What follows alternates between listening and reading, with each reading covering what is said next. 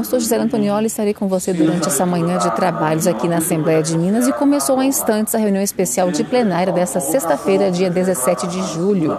Na pauta, oito propostas para análise dos deputados, lembrando que por conta da pandemia e isolamento social, a participação e votação é em grande parte remota. A gente vai acompanhar então agora o início dos trabalhos, que hoje está sendo conduzido pelo presidente da Assembleia, deputado Agostinho Patrus. número 104 de 2020 da mesa da Assembleia, que reconhece o estado de calamidade pública nos municípios de Araçaí, Araxá, Barão de Cocais, Bertópolis, Cachoeira Dourada, Capela Nova, Capelinha, Capitólio, Carlos Chagas, Chapada do Norte, Descoberto, Divinolândia de Minas, de Minas Felisburgo, Ibiá, Igarapé, Itabirinha, Luminárias, Morro do Pilar, NAC, Nova Ponte, Palma, Rio Casca, Sabinópolis, Salto da Divisa, Santa Margarida, Santa Maria de Suaçuí, Santana da Vargem, São José da Safira, Silvianópolis, Tabuleiro e Verdelândia, em decorrência da pandemia de Covid-19 causada pelo coronavírus.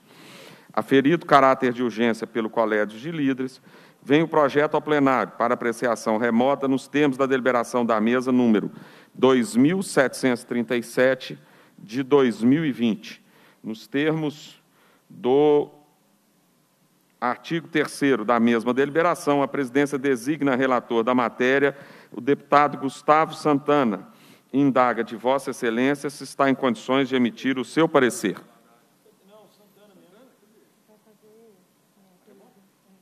Ele está remoto.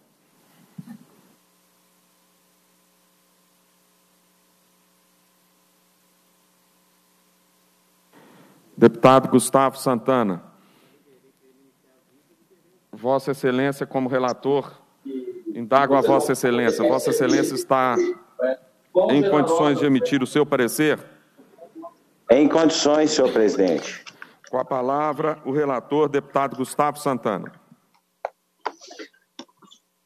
Os prefeitos dos municípios de Araxá, Bertópolis, Capela Nova, Capelinha, Capitólio, Carlos Chagas, Chapada do Norte, Descoberto, Divinolândia de Minas, Felisburgo, Luminárias, Morro do Pilar, Nova Ponte, Palma, Civianópolis, NAC, Verdelândia, Barão de Cocais, por meio desse ofício número 463-2020, 480-2020, e os prefeitos dos municípios de Cachoeira Dourada, Ibiá, Rio Casca, Sabinópolis, Salto da Divisa, Tabuleiro, Igarapá, Santa Margarida, Santana da Vargem, Araçaí, Itabirinha, Santa Maria do Suaçuí, São José da Safira, por meio dos ofícios 483-2020 a 495-2020,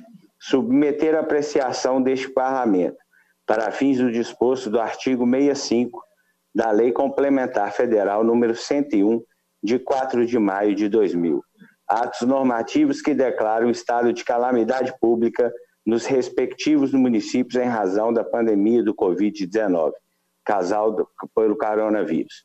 Distribuída a matéria na mesa da Assembleia para aparecer, esta concluiu pelo reconhecimento do estado de calamidade pública nos referidos municípios, por meio do projeto de resolução em epígrafe publicado no Diário Legislativo, 16 de 7 de 2020, e reconhecido seu caráter urgente nos termos do item 2.1 do Acordo de Líderes, aprovado por decisão da mesa, de 20 de 3 de 2020.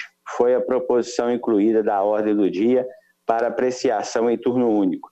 O presidente da Casa Legislativa designou este relator para, no prazo de 24 horas, emitir o parecer no plenário sobre o referido projeto de resolução e respectivas emendas, nos termos do artigo 3 de deliberação da mesa número 2737, de 23 de 3 de 2020. Os atos normativos municipais que declaram o estado de calamidade pública nos municípios referidos anteriormente foram submetidos à apreciação da Assembleia para fins dos dispostos do artigo 65 da Lei Complementar Federal número 101, de 4 de maio de 2000, Lei de Responsabilidade Fiscal. em razão dos impactos socioeconômicos e financeiros decorrentes da pandemia do Covid-19. Após parecer da mesa da Assembleia, que conclui pelo reconhecimento do estado de calamidade pública nos municípios mencionados, cabe agora emitir o parecer sobre o projeto de resolução apresentando com este fim. Inicialmente, observamos que o projeto de resolução é instrumento legislativo adequado para, conforme o artigo 194 do regimento interno desta Casa, regular a matéria, competência privativa do disposto do artigo 65 da Lei de Responsabilidade Fiscal. Segundo tal dispositivo, enquanto perdurar a situação de calamidade, serão suspensas a contagem dos prazos e das disposições referentes à recondução da despesa total com pessoal dos limites percentuais da RSL, estabelecida na Lei de Responsabilidade Fiscal, para cada poder ou órgão, os artigos 23 e 70, e da dívida consolidada e seus limites, artigo 31. Além disso, o município terá dispensado do atingimento dos resultados fiscais e da limitação de empenho prevista no artigo 9 da Lei de Responsabilidade Fiscal.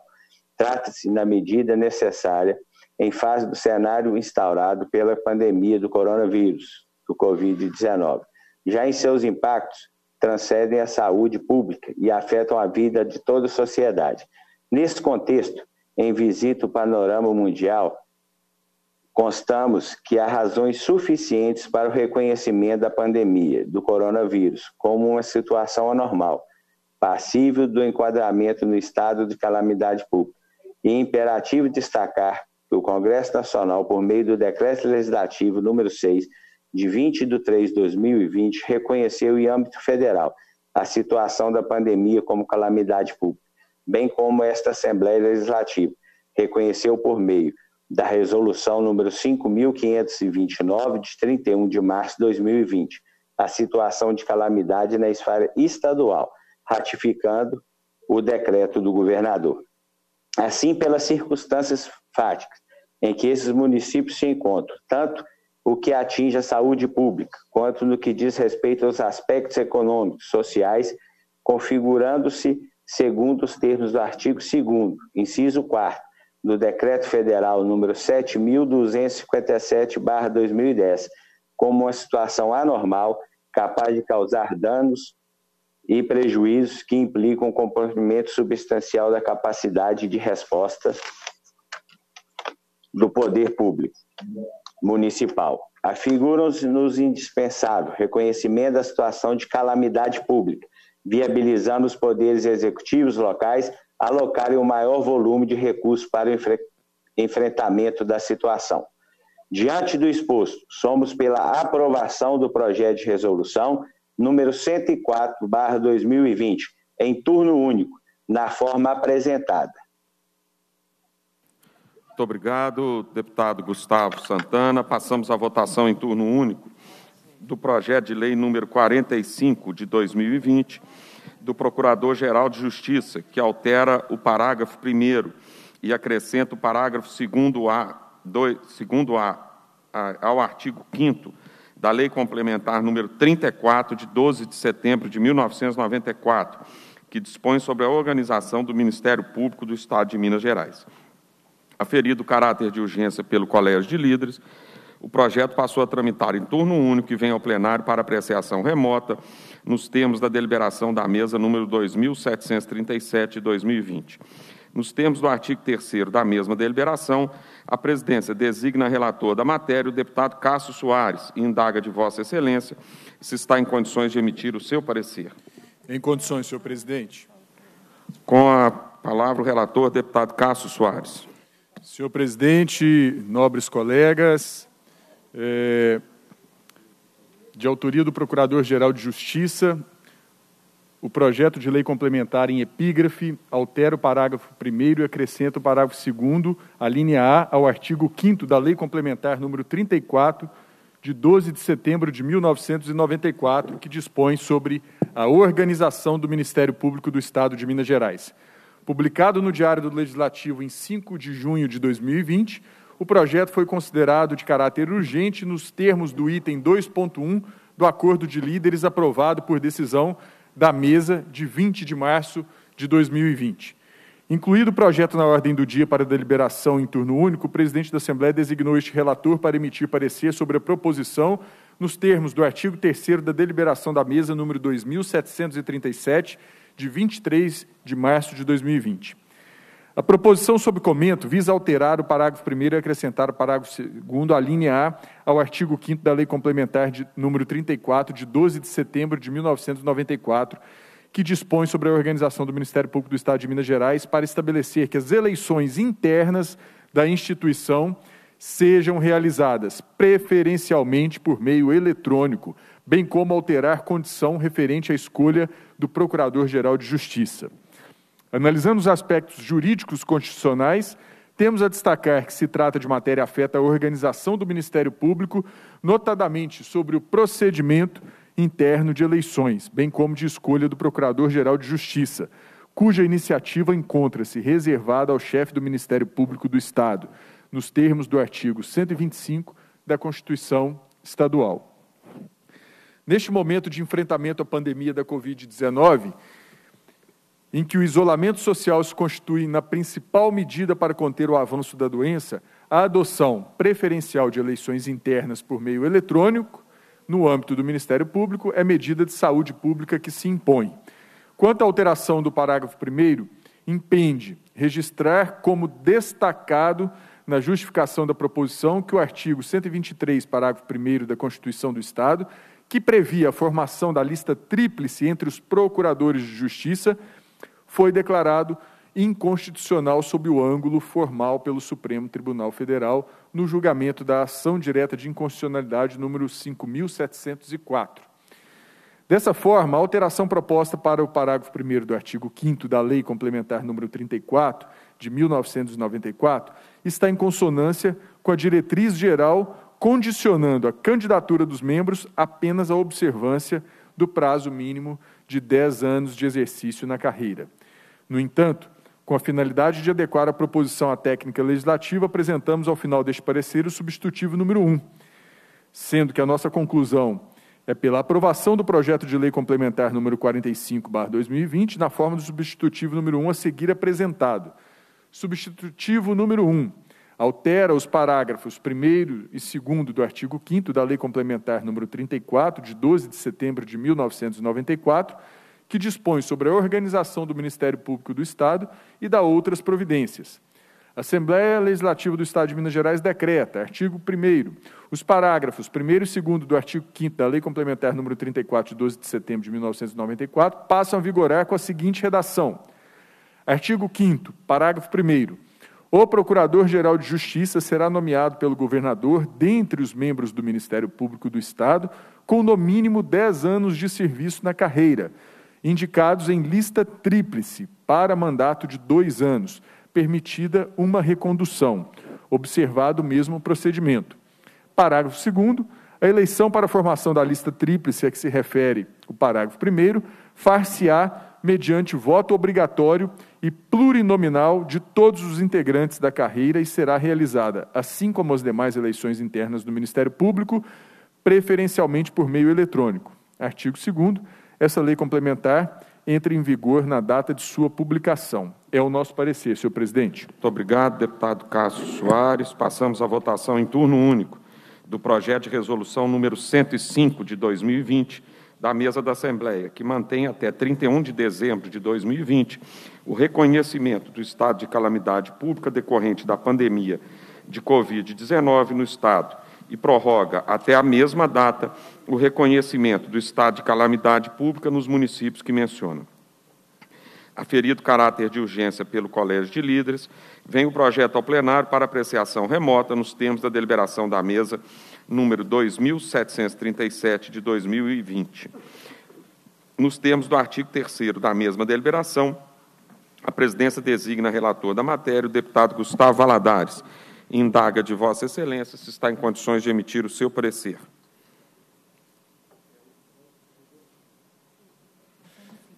Sim, presidente. Com a palavra o relator, deputado Gustavo Valadares. Já passando a fundamentação, o governador do Estado solicitou a esta Casa Legislativa, por meio da mensagem 91 de 2020, a manutenção do reconhecimento do estado de calamidade pública no âmbito do Estado de Minas Gerais até 31 de dezembro de 20, como medida indispensável para o enfrentamento da pandemia Covid-19 e para a promoção do bem-estar do povo mineiro. Encaminhou ainda o primeiro relatório trimestral contendo informações sobre a evolução da receita e da despesa do Estado e sobre as medidas adotadas pelo Poder Executivo durante a vigência do estado de calamidade pública compreendendo o período entre 25 de março e 25 de junho de 20. Diante do cenário instaurado em razão da infecção humana pelo coronavírus, causador da Covid-19, declarada como pandemia pela OMS e do disposto na Lei Federal 13.979, de 6 de fevereiro de 20, é necessário que sejam adotados para o seu enfrentamento novos critérios relativos às finanças públicas. Os graves impactos de ordem social e econômica impõem ao Estado e aos municípios a adoção de medidas de caráter emergencial pelos gestores públicos e os parâmetros para respaldá-las encontram-se dispostos no artigo 65 da Lei de Responsabilidade Fiscal. Pelas circunstâncias fáticas em que o Estado de Minas Gerais se encontra, tanto no, no aspecto de saúde pública como no aspecto econômico e social, afigura-nos como indispensável a manutenção da situação de calamidade pública, viabilizando ao Poder Executivo alocar maior volume de recursos para o enfrentamento da crise. Em relação à matéria orçamentária e financeira, cumpre ressaltar que o governador do Estado, por meio do relatório que acompanha a mensagem 91 de 2020, apresenta informações sobre os impactos nas contas estaduais decorrentes da alteração da conjuntura econômica causada pela pandemia do COVID, de Covid-19. Nota-se pelo exposto que a situação financeira do Estado de Minas Gerais encontra-se ainda vulnerável, reflexo da consabida redução do nível de atividade econômica e dos resultados fiscais negativos acumulados ao longo dos últimos anos. O combate à pandemia de Covid-19 em todo o território mineiro exige ainda a atuação dos municípios, cujas, cujas contas públicas também se encontram comprometidas em razão da diminuição do nível de atividade econômica. Logo, Diante da permanência dos efeitos da pandemia, cumpre-nos estender até 31 de dezembro de 20 os prazos inicialmente estabelecidos para os municípios cujo estado de calamidade pública, decretado em decorrência da pandemia de, de, do Covid-19, já foi reconhecida por resolução desta Casa Legislativa. Por fim, presidente, esclarecemos que deixamos de acolher as sugestões de emenda do deputado Sargento Rodrigues, tendo em vista estar demonstrado que a gravidade da situação sanitária e financeira do Estado de Minas Gerais não deve se abrandar até 31 de dezembro de 2020, a ponto de justificar uma nova revisão intermediária ou a abreviação do prazo já reconhecido por essa Assembleia para a vigência do estado de calamidade pública uh, no, no âmbito estadual. Ademais, a periodicidade trimestral para o envio dos relatórios detalhados conforme previsto na Resolução 5.529 de 20, é suficiente para o acompanhamento por essa Assembleia Legislativa da evolução da receita e da despesa do Estado, bem como das medidas adotadas pelo Poder Executivo. Por isso, não cabe incumbir a administração pública de novas atribuições para além das já previstas em leis e na resolução supracitada. Passando à conclusão, diante do exposto, somos pela aprovação do projeto de resolução 105 de 2020, em turno único, na forma apresentada, é o parecer, presidente. Muito obrigado, deputado Gustavo Valadares. Votação em turno único do projeto de lei número 176 de 2019, da deputada Ana Paula Siqueira, que altera a lei número 22.256, de 27 de julho de 2016, que institui a política de atendimento à mulher vítima de violência no Estado. A Comissão de Justiça conclui pela constitucionalidade do projeto na forma do substitutivo número 1 que apresentou. A Comissão dos Direitos da Mulher opinou pela aprovação do projeto na forma do substitutivo 2 que apresentou. Aferido o caráter de urgência pelo Colégio de Líderes, o projeto passou a tramitar em turno único e vem ao plenário para apreciação remota, nos termos da deliberação da mesa número 2737 de 2020. Nos termos do artigo 3 da mesma deliberação, a presidência designa relator da matéria, o deputado Cássio Soares, indaga de Vossa Excelência se está em condições de emitir o seu parecer. Em condições, senhor presidente. Com a palavra o relator, deputado Cássio Soares. Parecer de plenário para turno único do projeto de lei número 176 de 2019, de autoria da deputada Ana Paula Siqueira, que altera a Lei número 22.256, de 27 de julho de 2016, que institui a política de atendimento à mulher vítima de violência no Estado. Publicado no Diário do Legislativo de 1 de março de 2019, o projeto foi examinado preliminarmente pela Comissão de Constituição e Justiça, que concluiu pela juridicidade, constitucionalidade e legalidade da matéria na forma do substitutivo número 1, que apresentou. Em seguida, a Comissão de Defesa dos Direitos da Mulher opinou pela aprovação da proposição na forma do substitutivo número 2, que apresentou. Posteriormente, o projeto foi considerado de caráter urgente nos termos do item 2.1 do Acordo de Líderes, aprovado por decisão da mesa de 20 de março de 2020.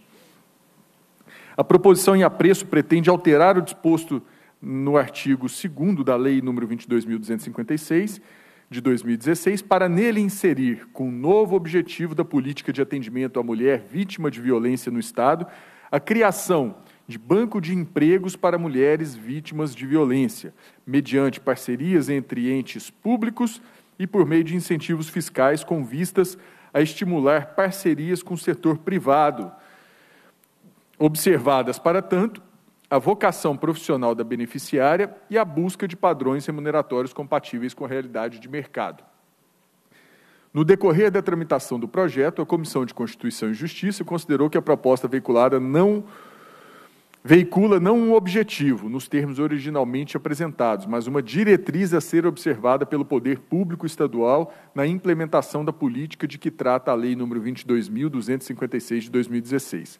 Nesse entendimento, apresentou o substitutivo número 1, de forma a acrescentar um inciso 13º ao artigo 3 da lei, resguardando-se o escopo original da proposição.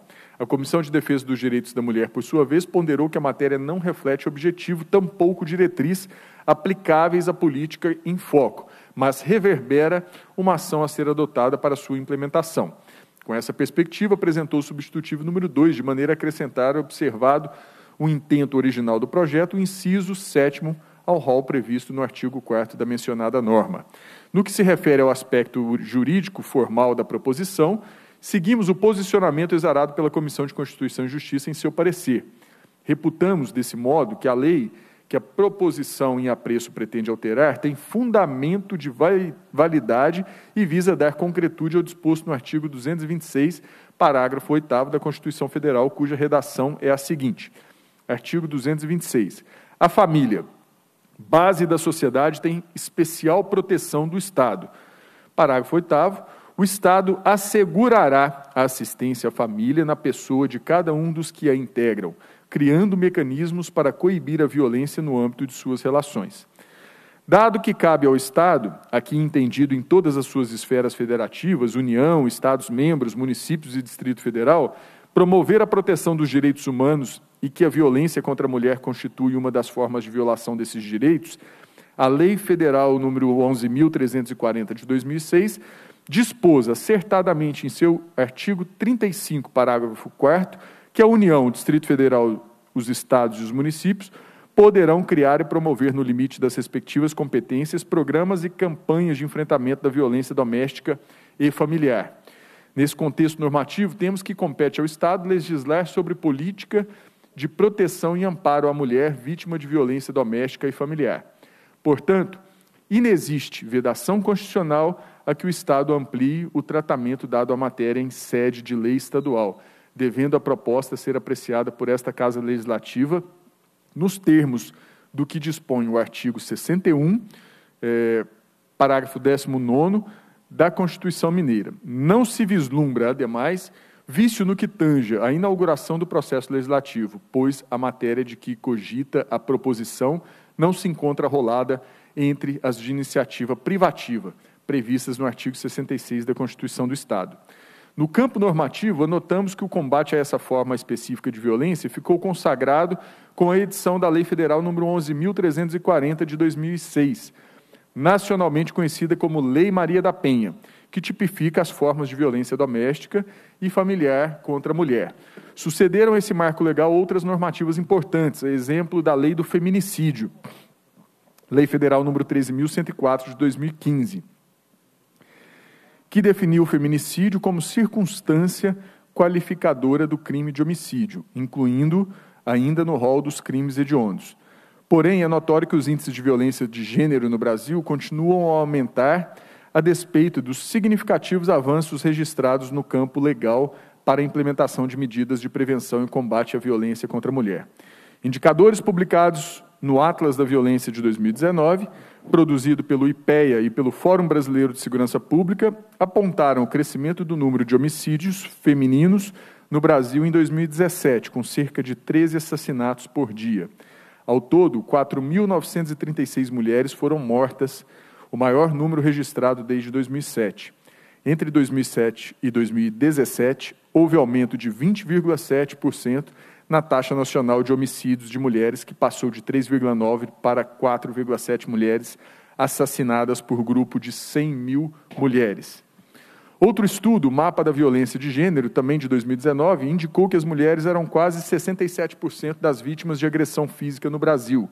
Em Minas Gerais, elas foram vítimas em 70% dos 128.887 casos de violência física registrados do Sistema de Informações de Agravos de Notificação entre 2014 e 2017. E, para além desse já preocupante quadro de violência contra a mulher, o contexto da pandemia de Covid-19 assenta-se como mais uma importante camada de agravamento desse fenômeno. Observamos atualmente que o isolamento social e a grande insegurança em torno dos mais variados aspectos sociais e econômicos da vida cotidiana têm funcionado como fatores desencadeadores de conflitos e contribuído visivelmente para o recrudescimento da violência doméstica e familiar. No que se refere à situação brasileira, ressaltamos que, de acordo com a declaração do Ministério da Mulher, da Família e dos Direitos Humanos, em abril deste ano, comparando-se com o mesmo período do ano passado, houve um aumento de 35% do número de denúncias de violência contra a mulher realizadas por meio do Ligue 180, um dos canais de atendimento da Ouvidoria Nacional de Direitos Humanos. Não restam dúvidas de que o cenário instaurado pela pandemia de Covid-19, principalmente em face da necessidade do isolamento social e da permanência das pessoas no espaço de sua casa agrava sobremaneira a violência praticada contra a mulher. Assim, estamos convencidos de que o fenômeno da violência contra a mulher desafia os poderes do Estado a incrementarem continuamente sua atuação, seja para enfrentá-lo de maneira eficiente no atual momento imposto pela pandemia de Covid-19, seja para mitigar seus efeitos ao longo do tempo. E ações relacionadas à promoção do acesso a trabalho, emprego e renda, e a consequente autonomia econômica das mulheres, são fundamentais para o rompimento do ciclo da violência. Dessa forma, conforme muito bem ressaltado pela Comissão de Defesa dos Direitos da Mulher em seu parecer sobre a matéria, é imprescindível que a atuação governamental ocorra de maneira ampliada, refinando as estratégias voltadas para a qualificação profissional, inclusão produtiva, incentivo ao empreendedorismo, inserção e permanência das mulheres no mercado de trabalho. Por fim, acompanhamos o entendimento consignado pela Comissão de Defesa dos Direitos da Mulher de que a matéria ajusta-se entre as ações que poderão ser adotadas pelo poder público para a implementação da política, com a consequente inclusão do inciso 7 no artigo 4 da Lei nº 22.256 de 2016, mas ainda com o intuito de aperfeiçoar a redação do disposto de forma a conferir-lhe maior efetividade normativa e melhor adequação à técnica legislativa, preservando-se o escopo original da proposta, apresentamos ao final deste parecer o substitutivo número 3. Pelo exposto, somos pela aprovação do projeto de lei número 176 de 2019, na forma do substitutivo número 3 a seguir apresentado. Acrescenta inciso ao artigo 4 da lei número 22.256, de 27 de julho de 2016, que institui a política de atendimento à mulher vítima de violência no Estado.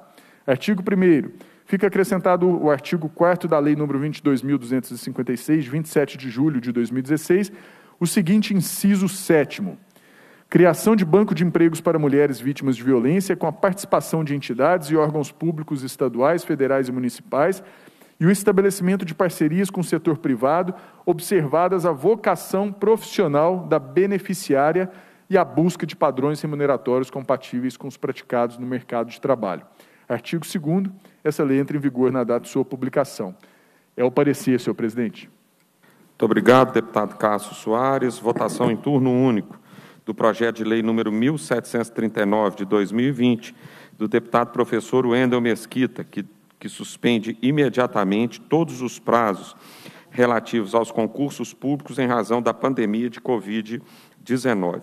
Aferido o caráter de urgência pelo Colégio de Líderes, o projeto passou a tramitar em turno único e vem ao plenário para apreciação remota, nos termos da deliberação da mesa número 2737 de 2020.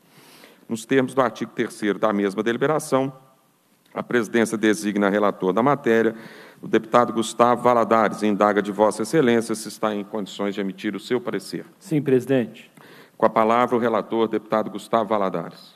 De autoria do deputado professor Wendel, o projeto de lei suspende imediatamente todos os prazos relativos aos concursos públicos razão, por razão da pandemia do Covid-19 causado pelo coronavírus. Nos termos do parágrafo 2 do artigo 173 do Regimento Interno, projeto de lei número 2022, de autoria da deputada Beatriz Cerqueira, foi anexado ao projeto em epígrafe por guardarem semelhança entre si, conforme decisão da presidência publicada no Diário do Legislativo em 11 de julho de 2020.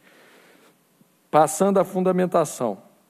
A proposição em análise pretende sobrestar a validade dos concursos públicos realizados independentemente de homologação, anteriormente à publicação do Decreto Estadual 47.891, de 20 de março de 2020, que reconheceu o estado de calamidade pública decorrente da pandemia de Covid-19. O projeto dispõe sobre a matéria afeta a administração pública estadual no contexto excepcional de calamidade pública.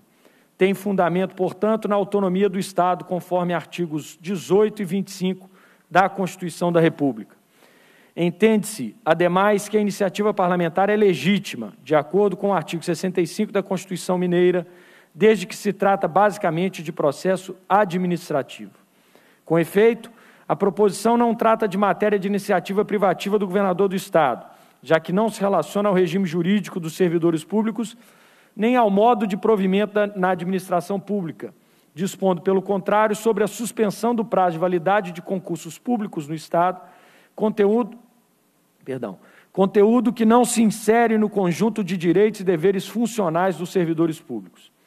Compreendemos ainda a conveniência e a oportunidade da proposição, tanto que foi contemplada em alguma medida na Lei 23.631 de 2 de abril de 2020, que dispõe sobre a adoção de medidas para o enfrentamento do estado de calamidade pública decorrente da pandemia de Covid-19 causada por coronavírus. Se em um primeiro momento pareceu conveniente respeitar a dimensão da discricionariedade administrativa, observa-se, na atual oportunidade, que a medida poderia também ser estabelecida pela lei de forma autoaplicável, como fez em relação à administração pública da União, a Lei Complementar Federal número 173, de 27 de maio de 2020, que estabeleceu o Programa Federativo de Enfrentamento ao Coronavírus, no seu artigo 10. Assim, tendo em vista a relação da norma com o estado de calamidade pública decorrido da pandemia de Covid-19, entendemos que deve ser introduzida na citada lei número 23.631 de 2020, razão pela qual propomos o substitutivo número 1, que também contempla, em parte, a sugestão de emendas dos deputados Gil Pereira, Beatriz Cerqueira e Coronel Henrique, atendendo ao disposto no parágrafo 3 do artigo 173, estendemos os argumentos por hora perpetrados ao projeto de lei anexado à presente proposição, considerando inclusive que a matéria contida na proposição anexada está contemplada no substitutivo que propomos. Passando à conclusão, diante do exposto, do exposto, somos pela aprovação do projeto de lei 1739 de 2020, na forma do substitutivo número 1, é o parecer. Muito obrigado, deputado Gustavo Valadares. Passamos à votação em turno único do projeto de lei número 1974 de 2020 do deputado Charles Santos, que estabelece normas para o correto descarte de máscaras de proteção individual e outros equipamentos de proteção individual, como medida de redução da transmissão do novo coronavírus no âmbito do Estado de Minas Gerais. Aferido caráter de urgência pelo Colégio de Líderes, o projeto passou a tramitar em turno único e vem ao plenário para apreciação remota nos termos da deliberação da mesa número 2737 de 2020. Nos termos do artigo 3 da mesma deliberação, a presidência designa relator da matéria, o deputado Gustavo Valadares, e indaga de Vossa Excelência se está em condições de emitir o seu parecer. Sim, senhor presidente. Com a palavra para relatar o projeto de lei número 1974 de 2020, o relator, deputado Gustavo Valadares. De autoria do deputado Charles Santos, o projeto de lei estabelece normas para descarte de máscaras e outros equipamentos de proteção individual no âmbito do Estado. Uh, o projeto em análise pretende normatizar o descarte de máscaras e outros equipamentos de proteção individual, EPIs, como medida de redução da transmissão de Covid-19 causada pelo novo coronavírus, bem como de proteção ao meio ambiente e aos profissionais que trabalham na coleta, triagem de recicláveis e manejo de resíduos sólidos no âmbito do Estado. Segundo justificação do autor, a nova lei número 23.636 de 20 trouxe a obrigatoriedade do uso de máscaras em todo o Estado, o que deu origem a um novo resíduo altamente contaminante, que pode colocar em risco a saúde das pessoas em caso de descarte inadequado. Cabe registrar inicialmente que o Estado tem competência legislativa concorrente com a União e os municípios em matéria de proteção do meio ambiente, controle de poluição e defesa, e defesa da saúde.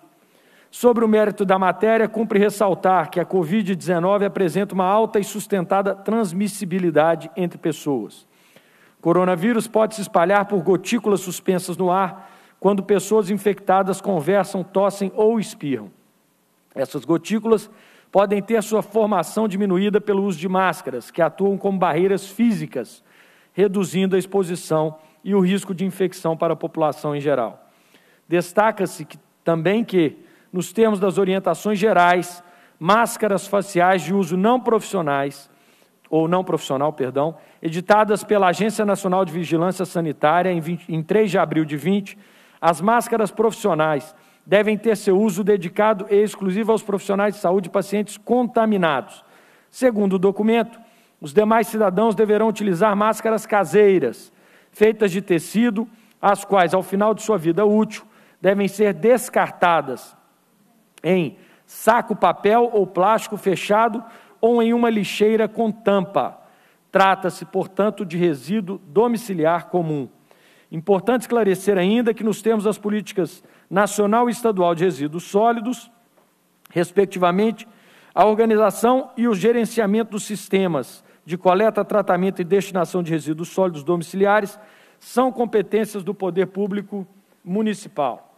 Portanto, tendo em vista a competência municipal relativa à matéria, as sanções já previstas na política estadual de resíduos sólidos e a existência de orientações gerais da Anvisa quanto ao descarte das máscaras, propõe-se a aprovação do projeto de lei em estudo na forma do substitutivo número 1, para incluir na Lei 23.631 de 2020, que dispõe sobre a adoção de medidas para o enfrentamento do estado de calamidade pública decorrente da pandemia de Covid-19, dispositivo para incentivar a implementação de campanha educativa para orientação da população sobre o descarte seguro e adequado das máscaras e EPIs. Conclusão: diante do exposto, somos pela aprovação do projeto de lei 1974 de 20, na forma do substitutivo número 1, é o parecer. Muito obrigado, deputado Gustavo Valadares. Votação em turno único do projeto de lei número 2065 de 2020 do deputado Orgal Andrada, que dispõe sobre o ensino remoto no Estado durante a pandemia de Covid-19. Aferido o caráter de urgência pelo Colégio de Líderes, o projeto passou a tramitar em turno único e vem ao plenário para apreciação remota, nos termos da deliberação da mesa número 2737 de 2020. Nos termos do artigo 3 da mesma deliberação, a presidência designa relator da matéria o deputado Cássio Soares, e indaga de Vossa Excelência se está em condições de emitir o seu parecer. Em condições, senhor presidente. Com a palavra o relator, deputado Cássio Soares. De autoria do deputado Dorgal Andrada, o projeto de lei em análise dispõe sobre o ensino remoto do Estado durante a pandemia de Covid-19. Publicado no Diário do Legislativo de 8 de julho de 2020, o projeto foi considerado de caráter urgente nos termos do item 2.1 do Acordo de Líderes aprovado por decisão da Mesa, de 20 de março de 2020. Incluído o projeto na ordem do dia para deliberação em turno único, o presidente da Assembleia designou este relator para emitir parecer sobre a proposição e respectivas emendas nos termos do artigo 3 da deliberação da mesa número 2737, de 23 de março de 2020. A proposição em análise determina que as aulas da rede estadual de ensino, disponibilizadas por meio virtual ou remoto durante a pandemia de coronavírus, devem observar o disposto na Base Nacional Comum Curricular. Além disso, o projeto autoriza o Poder Executivo a utilizar o contraturno para revisão e reposição dos conteúdos escolares e estabelece que somente serão contabilizados como dias letivos aqueles que observarem o conteúdo do, da Base Nacional Comum Curricular. A Base Nacional Comum Curricular é um documento de caráter normativo estabelecido pelo artigo 26 da Lei Federal nº 9.394, de 1996, Lei de Diretrizes e Bases da Educação Nacional, nos seguintes termos. Artigo 26. Os currículos da educação infantil, do ensino fundamental e do ensino médio devem ter base nacional comum a ser complementada em cada sistema de ensino e em cada estabelecimento escolar por uma parte diversificada exigida pelas características regionais e locais da sociedade, da cultura, da economia e dos educandos. Parágrafo 10. A inclusão de novos componentes curriculares de caráter obrigatório da Base Nacional Comum Curricular dependerá de aprovação do Conselho Nacional de Educação e de homologação pelo Ministério de Estado da Educação. A Base Nacional Curricular Comum Curricular define o conjunto de aprendizagens essenciais que os alunos devem desenvolver ao longo das etapas e modalidades da educação básica, de modo que tenham assegurados seus direitos de aprendizagem e desenvolvimento. Trata-se de um instrumento importante para a mitigação da desigualdade educacional, pois permite que todos os alunos tenham acesso às aprendizagens essenciais necessárias à sua formação integral. Por força da pandemia em meados de março, as aulas presenciais foram suspensas na rede estadual de ensino para viabilizar o cumprimento do calendário escolar e a aprendizagem dos alunos. A Secretaria de Estado de Educação normatizou e implementou o uso de plataformas e tecnologias digitais, considerando a longa duração da suspensão das atividades educacionais de forma presencial nos ambientes escolares. Ratificamos a legítima preocupação manifestada pelo autor da proposição em garantir que os conteúdos disponibilizados aos alunos da rede estadual de ensino, de forma remota, estejam alinhadas à Base Nacional Comum Curricular, pois não se deve descurar da qualidade do processo educacional, mesmo quando se faz necessária a utilização de recursos pedagógicos alternativos à praxis educacional, como ocorre no contexto atual. Assim, consideramos ser necessário promover algumas adequações ao projeto original, o que fazemos por meio do substitutivo número 1, apresentado ao final deste parecer. Buscamos, no substitutivo, preservar o objetivo essencial do projeto, que é o de garantir que as atividades não presenciais ofertadas pela rede estadual de ensino possibilitem o desenvolvimento dos objetivos de aprendizagem e habilidades previstas na Base Nacional Comum Curricular, a fim de minimizar os impactos da pandemia na educação. Por fim, informamos que recebemos contribuição do autor do projeto para, em síntese, substituir a referência à Base Nacional Comum Curricular por outra ao currículo referência de Minas Gerais. Entretanto, o currículo para o ensino médio ainda está em construção no currículo referência de Minas Gerais. Assim, entendemos ser mais adequado manter a referência à Base Nacional Comum Curricular, incluindo também a menção ao currículo referência de Minas Gerais. Desse modo, estamos certos de que o substitutivo número 1 um atenderá à intenção do autor da proposição ao propor alterações no projeto em análise. Sendo assim, diante do exposto, somos pela aprovação do projeto de lei número 2065 de 2020, na forma substitutivo número 1 a seguir apresentado dispõe sobre as atividades pedagógicas não presenciais ofertadas pela rede estadual de ensino durante a suspensão das aulas presenciais ocorrida em razão da pandemia de Covid-19. A Assembleia Legislativa do Estado de Minas Gerais decreta, artigo 1 as atividades pedagógicas não presenciais ofertadas pela rede estadual de ensino durante a suspensão das aulas presenciais ocorrida em razão da pandemia de Covid-19 deverão promover o desenvolvimento dos objetivos de aprendizagem e habilidades previstas no Currículo Referência de Minas Gerais e na Base Nacional Comum Curricular. Artigo 2 dessa lei entra em vigor na data de sua publicação. Este é o nosso parecer, senhor presidente.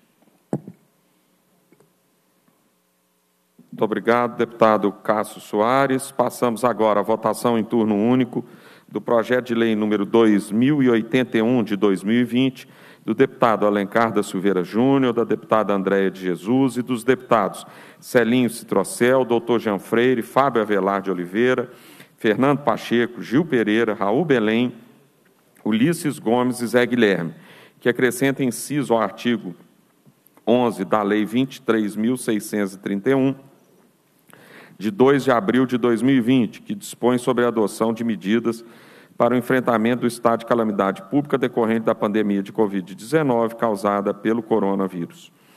Aferido o caráter de urgência pelo Colégio de Líderes, o projeto passou a tramitar em turno único e vem ao plenário para apreciação remota nos termos da deliberação da mesa números 2737 e 2020. Nos termos do artigo 3 da mesma deliberação, a presidência designa relator da matéria o deputado Gustavo Valadares e indaga de Vossa Excelência se está em condições de emitir o seu parecer. Sim, presidente. Com a palavra o relator, deputado Gustavo Valadares. É, de autoria dos deputados Raul Belém, Gil Pereira, Celinho do Sintrocel, doutor Jean Freire, Alencar da Silveira Júnior, Fernando Pacheco, Zé Guilherme, Ulisses Gomes e Fábio Avelar de Oliveira, e da deputada André de Jesus, o projeto de lei em análise acrescenta inciso ao artigo 11 da Lei 23.631, que dispõe sobre a adoção de medidas para o enfrentamento do estado de calamidade decorrente da pandemia de, corona, de Covid-19 causada pelo coronavírus. A proposição em análise acrescenta o inciso ao artigo 11 da Lei 23.631 de 20, dispondo sobre as diretrizes a serem avaliadas pelo Banco de Desenvolvimento do Estado de Minas Gerais com o objetivo de atenuar os impactos econômicos causados pela pandemia de Covid-19 aos agentes econômicos e aos municípios. Quanto ao aspecto jurídico constitucional, jurídico constitucionais, observa-se que um dos objetivos da proposição é a manutenção dos empregos, o que encontra amparo no artigo 6 da Constituição da República.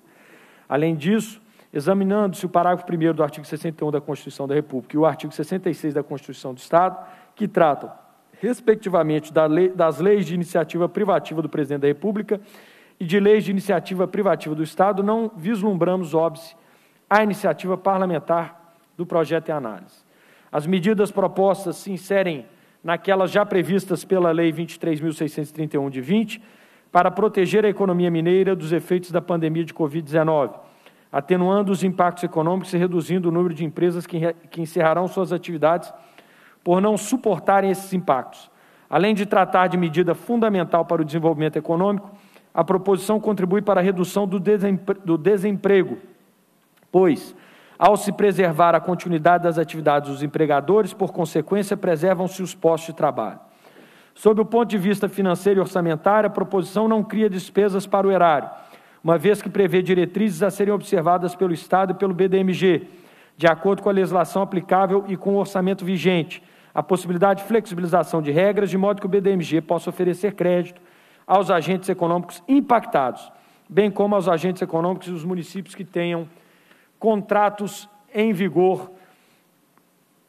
Espera aí. Que tenham contratos em vigor que possam honrar seus compromissos com o banco. Nesse sentido, fica preservada a autonomia dos gestores para decidirem sobre a viabilidade orçamentária e financeira de cada ação específica que venha a ser proposta com base no projeto de lei. Com o objetivo de aprimorar a matéria e incluir agentes econômicos não mencionados, alguns deles por sugestão dos deputados Cristiano Silveira e Mauro Tramonte, este relator apresenta o substitutivo número 1, um, redigido ao final desta peça opinativa. Por fim, deixamos de acatar a sugestão de emenda do deputado Mauro Tramonte, que suspende a exigência de certidões negativas de débito do exercício de 20, por entendermos que configura ingerência na gestão da entidade. Passando então à conclusão, diante do exposto, somos pela aprovação do projeto de lei 2081 de 20, na forma do substitutivo número 1, é o parecer. Muito obrigado, deputado Gustavo Valadares. Passamos agora A votação solicito aos deputados que acessem o Sileges. A presidência vai submeter a matéria, as matérias à votação pelo processo nominal e remoto, por meio da plataforma do Sileges, de conformidade com a deliberação da mesa da Assembleia número 2737 de 2020. Votação em turno único do projeto de resolução número 104 de 2020 da mesa da Assembleia, que reconhece o estado de calamidade pública nos municípios que menciona em decorrência da pandemia de Covid-19 causada pelo coronavírus. Em votação o projeto, comparecer pela aprovação. Em votação. Neste momento, então, os deputados estão votando o projeto de resolução de número 104 de 2020 em turno único, um processo de votação apenas. Essa proposta é, trata da.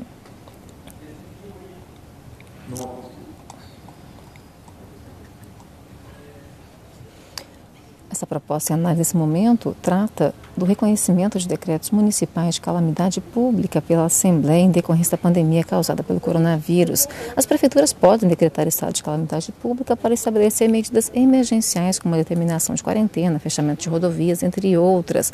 Mas para que os municípios sejam liberados de restrições impostas pela Lei de Responsabilidade Fiscal, é necessário o reconhecimento desses decretos pela Assembleia Legislativa.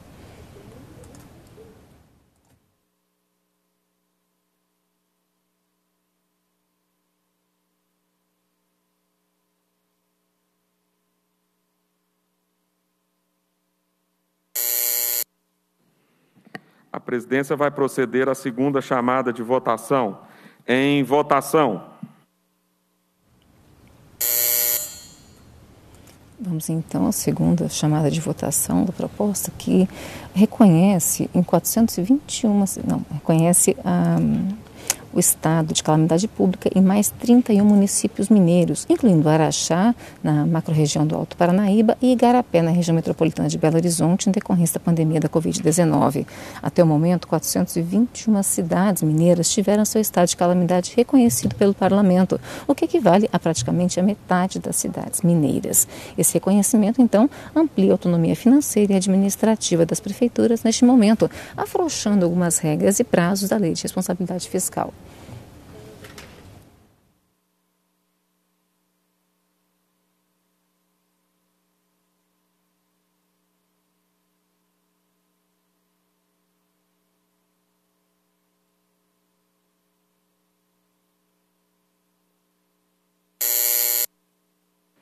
Votaram sim 56 senhoras e senhores deputados, votaram não quatro senhoras e senhores deputados e houve ainda um voto em branco.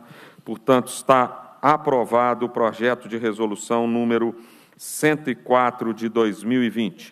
Votação em turno único do projeto de resolução número 105 de 2020 da mesa da Assembleia, que mantém até o dia 31 de dezembro de 2020 o reconhecimento do estado de calamidade pública decorrente da pandemia de Covid-19 no Estado e prorroga até, a mesma, prorroga até a mesma data o reconhecimento do estado de calamidade pública nos municípios que menciona. Em votação, o projeto comparecer pela aprovação. Em votação. Como foi anunciado pelo presidente da Assembleia, deputado Agostinho Patrus, estamos em processo de votação em turno único, então, projeto de resolução de número 105 de 2020 da mesa da Assembleia, que mantém até 31 de dezembro de 2020 o reconhecimento do estado de calamidade pública em Minas Gerais em decorrência da pandemia de Covid-19. A Assembleia já aprovou no início da pandemia a resolução que estabeleceu a calamidade pública no estado. Ela já reconhecia o estado de calamidade até dezembro, mas previa que até dia 20 de julho a situação seria revista pela Assembleia, cabendo ao governador o envio de uma mensagem justificando a necessidade de manutenção do prazo até 31 de dezembro.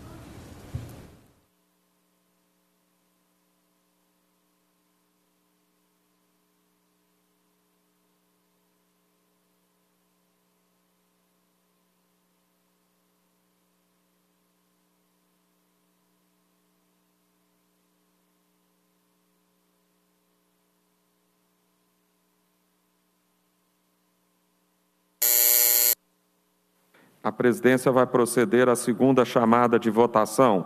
Em votação.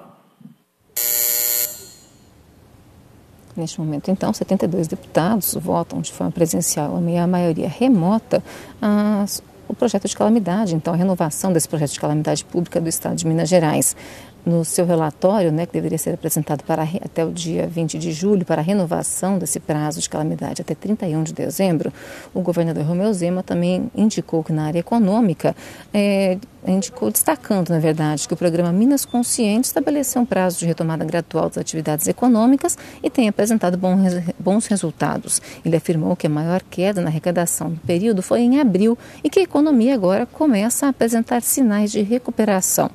Zema afirmou ainda que o Estado avançou nos últimos meses na simplificação das licenças ambientais e na facilitação de regimes tributários dos pequenos produtores rurais.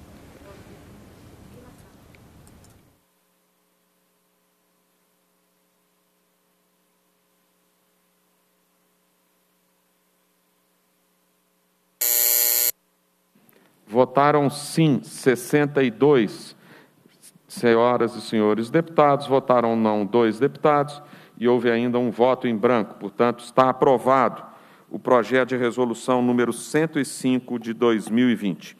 Votação em turno único do projeto de lei complementar número 45 de 2020 do Procurador-Geral de Justiça, que altera o parágrafo 1 e acrescenta o parágrafo 2A ao artigo 5 da Lei Complementar número 34 de 12 de setembro de 1994, que dispõe sobre a organização do Ministério Público do Estado de Minas Gerais. Em votação, substitutivo número 1, comparecer pela aprovação. Em votação. Então, neste momento, os 72 deputados que estão votando na reunião de plenário desta manhã de sexta-feira analisam o projeto de lei complementar de número 45 de 2020, que é de autoria do Procurador-Geral de Justiça, eh, Antônio José Toné, que altera trechos da lei complementar 34, que dispõe sobre a organização do Ministério Público do Estado de Minas Gerais. O relator da proposta é o deputado Cássio Soares. Entre as mudanças pedidas pelo Tribunal de Justiça está a permissão para que as eleições internas do Ministério Público de Minas Gerais possam possa ser feita por meio eletrônico e permitindo ainda que promotores entre os integrantes da carreira, com no mínimo de 10 anos de serviço, possam se candidatar ao cargo de Procurador-Geral de Justiça.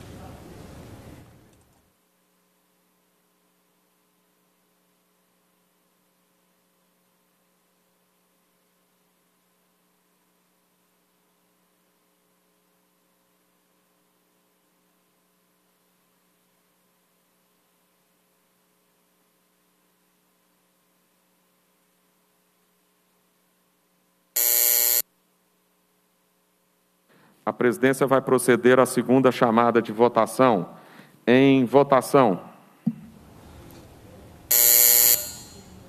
Começou então, começou então a segunda chamada de votação do projeto de lei complementar de número 45 de 2020, que dispõe sobre a organização do Ministério Público do Estado de Minas Gerais é, o governador nomeia como Procurador-Geral de Justiça um dos integrantes da lista tríplice formulada pelo próprio Ministério Público. O mandato é de dois anos e pode haver uma recondução. No entanto, hoje a Constituição Mineira e a Lei Orgânica Estadual restringem aos procuradores a possibilidade de se candidatar ao comando do órgão.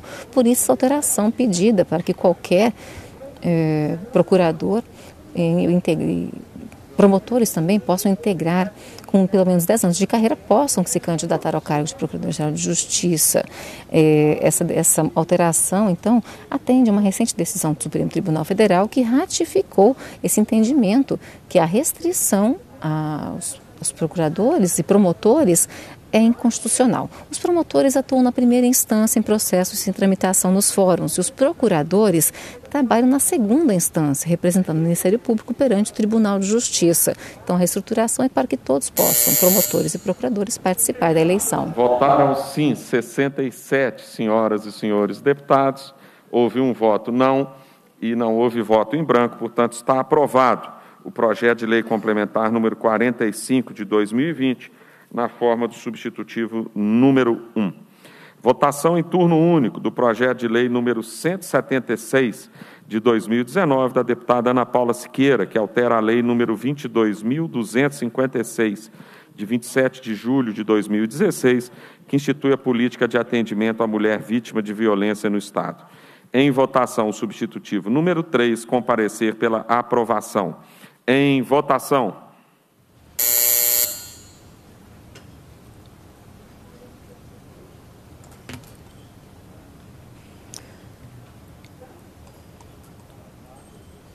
Estamos então no primeiro, primeira turno de votação né, do projeto de lei de número 176 de 2019 da deputada Ana Paula Siqueira. Siqueira.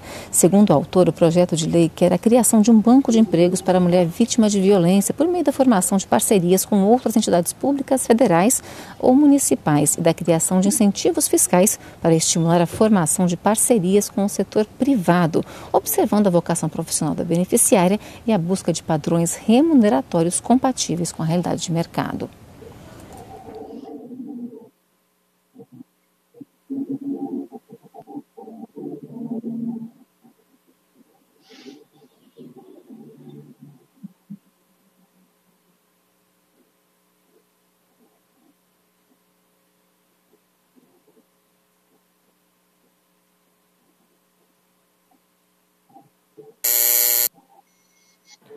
A presidência vai proceder à segunda chamada de votação.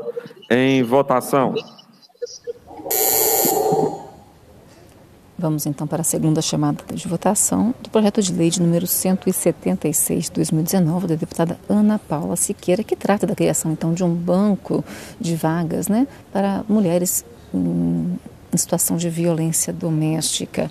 No parecer apresentado nesta manhã, o o que está sendo votado agora é um substitutivo número 3, né, essa proposta. O, o, a proposta recebeu pareceres que são mudanças ao texto. Né? Cada substitutivo promove, é, sugere um novo texto ao projeto. E nesse sugerido em plenário hoje é que o texto apresentado é, aperfeiçoa a, técnica, a redação do dispositivo e altera o texto para garantir maior efetividade e melhor técnica legislativa. Segundo o relator, o texto preserva a matéria original, acompanhando o entendimento da Comissão de Defesa dos Direitos da Mulher, de que a criação desse banco de empregos para mulheres vítimas de violência está entre as ações que podem ser adotadas pelo poder público para a implementação da política de atendimento à mulher vítima de violência no Estado que já é prevista na Lei 22.256 de 2016. 66 senhoras e senhores deputados.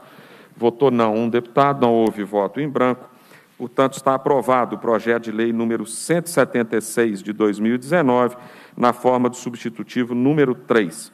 Com a aprovação do substitutivo número 3, ficam prejudicados os substitutivos números 1 e 2 e o projeto original. Votação em turno único do projeto de lei número 1739 de 2020, do deputado professor Wendel Mesquita, que suspende imediatamente todos os prazos relativos aos concursos públicos em razão da pandemia de Covid-19. Em votação substitutivo número 1, comparecer pela aprovação. Em votação. Neste momento, então, em votação, a proposta que suspende os prazos de concursos públicos em andamento, independentemente de terem sido homologados antes do decreto estadual de calamidade pública em março deste ano. A proposta prevê que a contagem de tempo volte a valer depois do fim do estado de calamidade pública, previsto até o momento para dezembro de 2020. Espera-se com isso evitar a lesão ou prejuízo aos direitos dos participantes de seleções públicas por motivo alheio à sua vontade.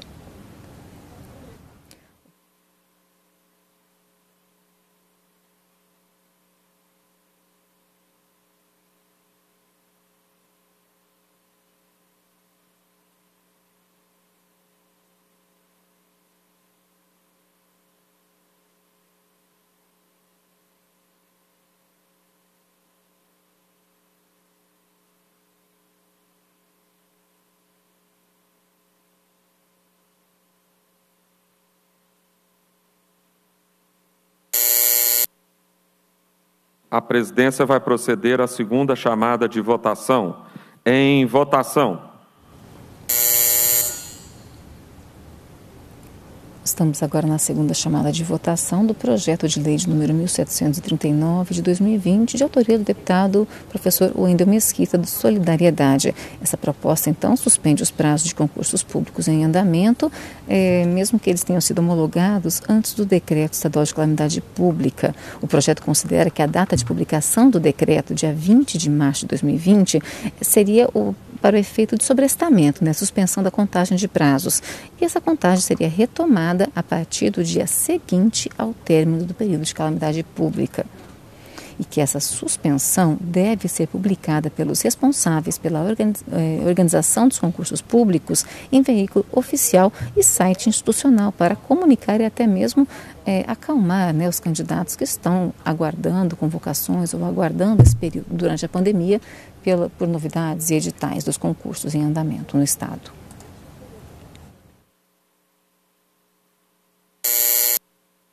Votaram sim 69 senhoras e senhores deputados.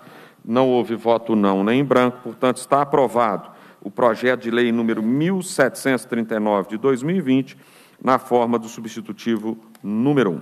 Votação em turno único do projeto de lei número 1974 de 2020 do deputado Charles Santos, que estabelece normas para o correto descarte de máscaras de proteção individual e outros equipamentos de proteção individual, como medida de redução da transmissão do novo coronavírus no âmbito do Estado de Minas Gerais. Em votação substitutiva número 1, comparecer pela aprovação. Em votação. Vamos então à votação do projeto de lei de mil, número 1974 de 2020 do deputado Charles Santos, do Republicanos. É, o, o, projeto estabelece normas para descarte de máscaras e outros equipamentos de proteção individual. Segundo o autor do projeto, a nova lei já sancionada de número 23.636 de 2020, torna obrigatório o uso de máscaras em todo o estado e traz com ela o aumento desse tipo de lixo altamente contaminante. As máscaras e outros equipamentos de proteção individual, conhecidos por EPIs, podem colocar em risco a saúde das pessoas se o descarte for inadequado. Por isso, o projeto de lei, o autor do projeto, aponta a necessidade de regras para orientar a população sobre a maneira correta de usar, guardar e principalmente descartar esses equipamentos, com o objetivo de minimizar os riscos de contaminação e propagação do novo coronavírus, protegendo principalmente profissionais que trabalham na coleta, triagem de materiais recicláveis e manejo de resíduos sólidos no Estado. A presidência vai proceder à segunda chamada de votação. Em votação.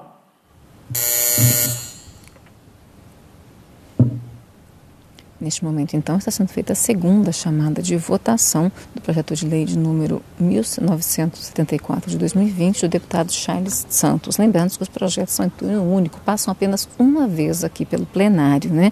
E essa proposta estabelece ah, regras para descarte de máscaras e outros equipamentos de proteção individual, eh, principalmente em decorrência da pandemia.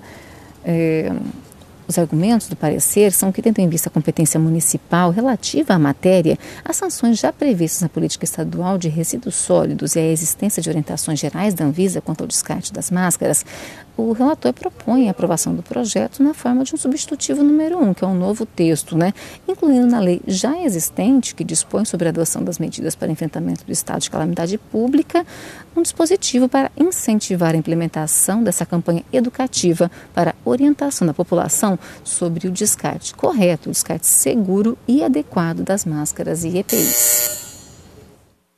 Votaram sim 69 senhoras e senhores deputados não houve voto não nem em branco, portanto, está aprovado o projeto de lei número 1974 de 2020, na forma do substitutivo número 1.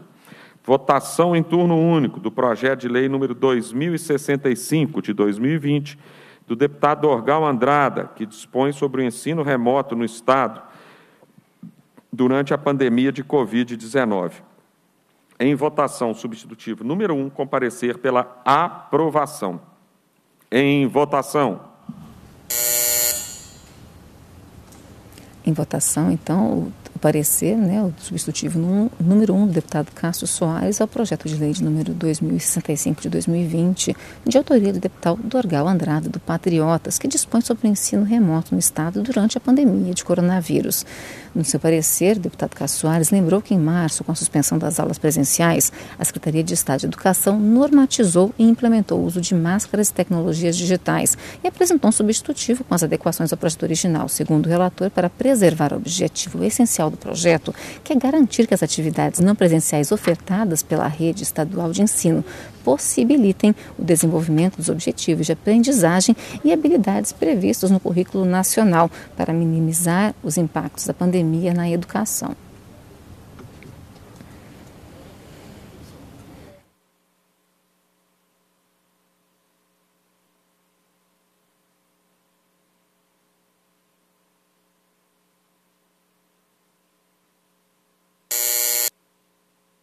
Segunda, a presidência vai proceder à segunda chamada de votação. Em votação.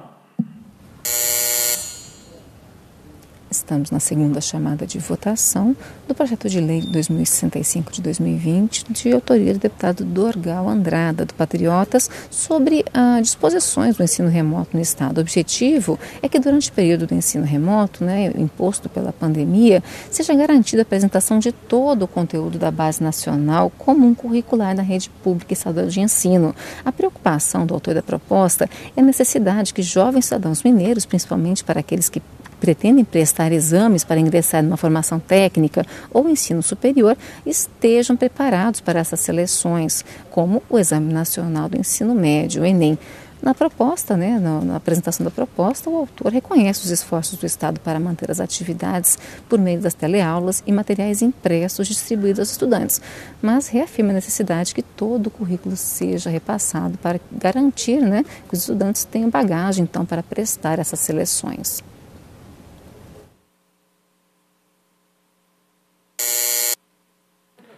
Votaram sim 67 senhoras e senhores deputados.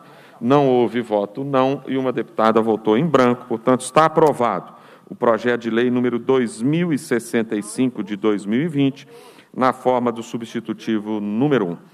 Votação em turno único do projeto de lei de número 2081 de 2020, do deputado Alencar da Silveira Júnior, da deputada Andréia de Jesus e dos deputados Celinho Citrocel, doutor Jean Freire, Fábio Avelar, Fernando Pacheco, Gil Pereira, Raul Belém, Ulisses Gomes e Zé Guilherme, que acrescenta inciso ao artigo 11 da Lei número 23.631, de 2 de abril de 2020, que dispõe sobre a adoção de medidas para o enfrentamento do estado de calamidade pública decorrente da pandemia de Covid-19 causada por coronavírus. Em votação substitutivo número 1, comparecer pela aprovação. Em votação.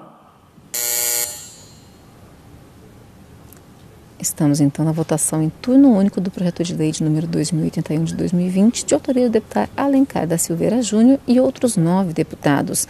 Essa proposta, então, acrescenta a, a lei né, sobre as medidas a serem adotadas durante o enfrentamento da pandemia, né, da calamidade pública decorrente da pandemia de Covid-19. A tentativa é a manutenção de empregos. A proposta complementa as medidas para reduzir os prejuízos financeiros e econômicos de, de empresários, né, empresas e do Estado que suspenderam suas atividades pelo fechamento das atividades por ordem do poder público para enfrentar a pandemia.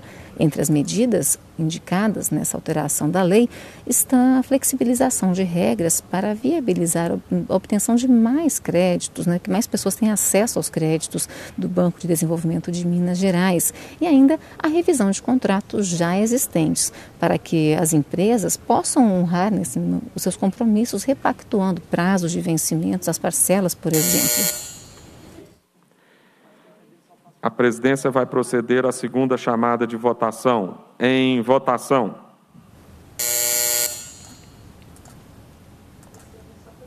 Estamos então na segunda chamada de votação né, do projeto de lei de número 2081 de 2020, de autoria do deputado Alencar da Silveira e outros nove deputados. Esse é o último projeto na nossa pauta de trabalhos desta manhã de sexta-feira, que está sendo votado. Neste momento, 73 deputados participam, né? Três deles aqui no plenário, quatro deles aqui no plenário e os outros 69 deputados participam de forma remota. Né? E nesse momento eles votam substitutivo né, do, apresentado ao, ao, projeto, que tem o objetivo de aprimorar a matéria e incluir agentes econômicos que não estavam mencionados no texto original. Então, aí amplia o leque de pessoas que, pos, de, para, né, para, que possam ter acesso a créditos do BMD, do Banco de Desenvolvimento de Minas Gerais, por exemplo, e a renegociação, né, a repactuação de contratos existentes por conta dessa crise econômica gerada pela pandemia, uma tentativa de manter empregos e manter a atividade econômica do Estado para que as empresas não fechem as suas portas. Votaram sim 66 senhoras e senhores deputados, não houve voto não nem em branco, portanto está aprovado o projeto de lei número 2081 de 2020 na forma do substitutivo número 1. A presidência designa relator o deputado Gustavo Valadares para emitir os pareceres de redação final dos projetos de resolução número 104 e 105 de 2020 e do projeto de lei complementar número 45 de 2020 e dos projetos de lei número 176 de 2019 e 1739, 1974 2065 e 2081 de 2020. Indaga de Vossa Excelência se está em condições. Sim, presidente. Com a palavra o relator dos pareceres de redação final, deputado Gustavo Valadares. Opino por dar às proposições a redação final em conformidade com o aprovado pelos nobres pares durante a tramitação.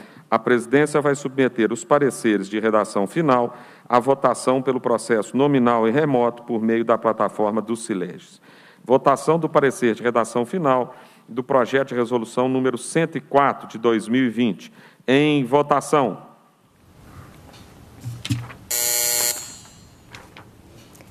Neste momento, então, a gente analisa o projeto de redação, a, a votação do do texto final né, aprovado pela Comissão de Redação, essa proposta que estabelece calamidade pública em diversos municípios mineiros, foi aprovada hoje por 56 deputados. Né? 56 deputados deram voto sim após a aprovação da proposta. A proposta né, é avaliada pela Comissão de Redação para ver se não há nenhuma inconformidade na técnica legislativa antes dessa proposta ser encaminhada ao governador para a sanção. É, nesse caso, na verdade, é para a resolução. E todas as propostas aprovadas nesta manhã, né, que a gente acompanhou uma a uma aí durante essa manhã, vão passar por esse processo de aprovação, então, da redação final.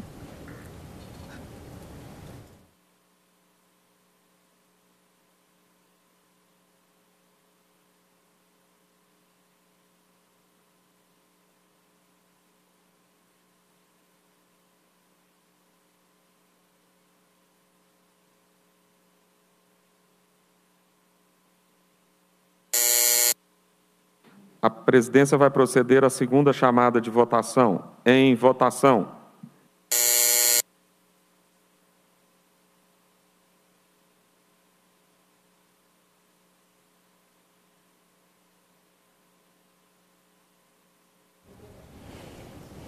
Então, agora a gente está nesse processo de votação dos pareceres de redação final. Essa é a segunda chamada do projeto de resolução de número 104 de 2020, aquele que reconhece o estado de calamidade pública em mais de 31 municípios mineiros, entre eles Araxá, na região do Alto Paranaíba, e Igarapé, aqui na Grande BH.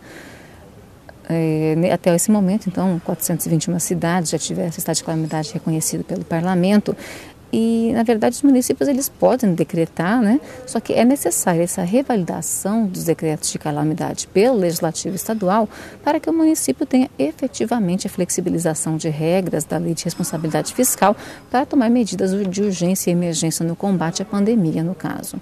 Lembrando que todos os projetos que passaram por essa manhã de votação vão ser retomados a partir de agora para aprovação do texto final pela Comissão de Redação.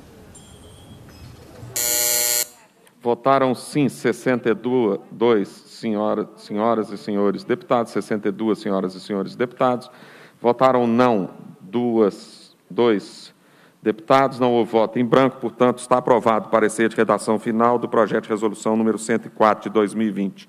Votação do parecer de redação final do projeto de resolução número 105 de 2020. Em votação.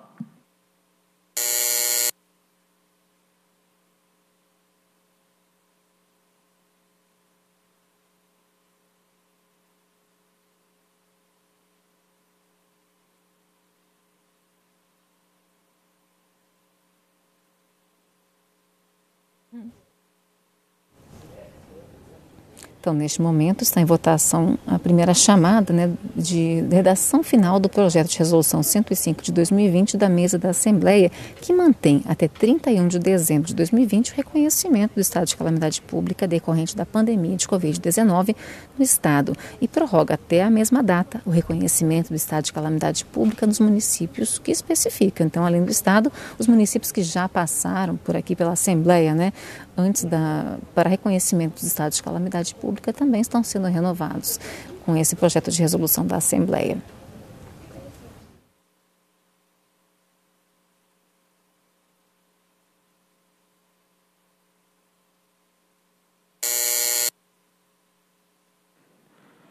A presidência vai proceder à segunda chamada de votação. Em votação.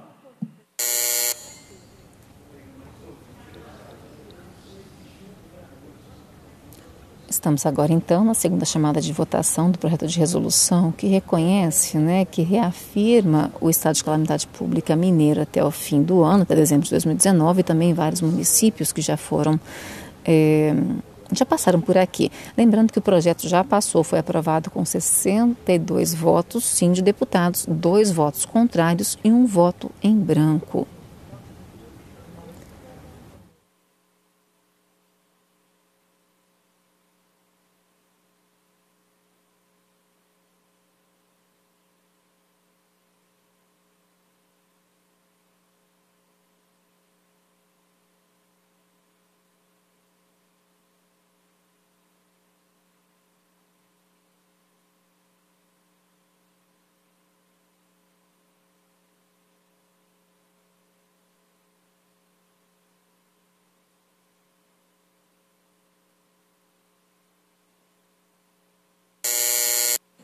Votaram sim 61 senhoras, 61 senhoras e senhores deputados. Houve um voto não, não houve voto em branco, portanto, está aprovado o parecer de redação final do projeto de resolução número 105 de 2020. Votação do parecer de redação final do projeto de lei complementar número 45 de 2020. A presidência vai ó, de 2020. Em votação.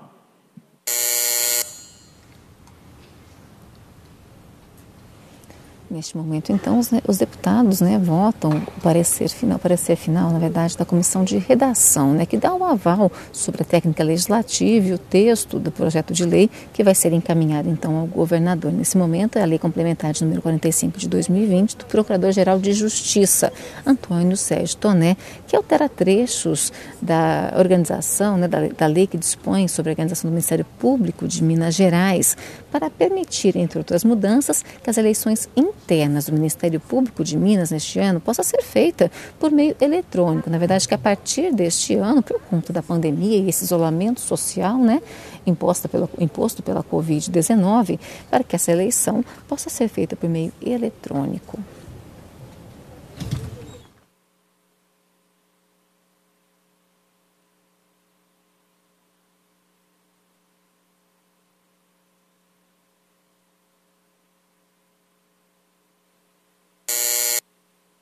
A presidência vai proceder à segunda chamada de votação. Em votação. Lembramos mais uma vez que está em votação, então, parecer de redação final da comissão de redação quanto ao projeto de lei complementar de número 45 de 2020. Esse projeto, né, além de dispor sobre a permissão para que as eleições internas do Ministério Público de Minas possam ser feitas por meio eletrônico permite ainda que promotores entre os integrantes da carreira com no mínimo 10 anos de serviço possam se candidatar ao cargo de Procurador-Geral de Justiça. Promotores são aqueles profissionais, né, os servidores públicos que atuam na primeira instância nos processos em tramitação em fóruns. E os procuradores são os que atuam na segunda instância, representando o Ministério Público perante o Tribunal de Justiça o governador nomeia como Procurador-Geral de Justiça um dos integrantes de uma lista tríplice formulada pelo Ministério Público. E hum, havia uma certa restrição para, para a participação, né? restrição que caiu então numa recente decisão do Supremo Tribunal Federal ratificando é, o entendimento de que a restrição de que promotores não poderiam participar da, dessa disputa sim, é 60 senhoras e senhores deputados, houve um voto não, nenhum voto em branco, portanto está aprovado o parecer de redação final do projeto de lei complementar número 45 de 2020. Votação do parecer de redação final do projeto de lei 176 de 2019. Em votação. Nós vamos então agora para a votação do texto final que vai ser para a sanção do governo do Estado do projeto de lei de número, mil, de número 176 de 2019 da deputada Ana Paula Siqueira. Essa proposta é, sugere né, a criação, prevê a criação de um banco de empregos para mulheres vítimas de violência, por meio da formação de parcerias com outras entidades públicas, federais ou municipais e a criação de incentivos fiscais para estimular a formação de parcerias com o setor privado, observada a vocação profissional da, da mulher e também os padrões remuneratórios compatíveis. Essa proposta passou agora pela manhã, teve a aprovação de 66 deputados. Apenas um deputado votou contrário à proposta.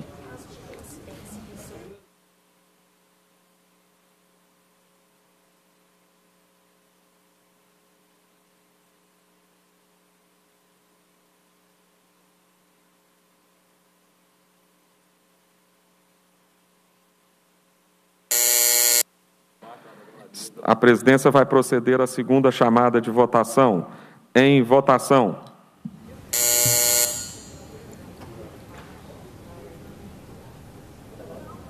Neste momento, então, a segunda chamada de votação para o projeto da deputada Ana Paula Siqueira, que foi aprovado nessa manhã de sexta-feira aqui na reunião especial de plenário na Assembleia, que estabelece a criação, então, de um banco de empregos em parcerias com, com entidades públicas para garantir às mulheres vítimas de violência uma recolocação profissional e garantir o sustento, né, uma garantia financeira para que elas consigam sair dessa situação de violência doméstica.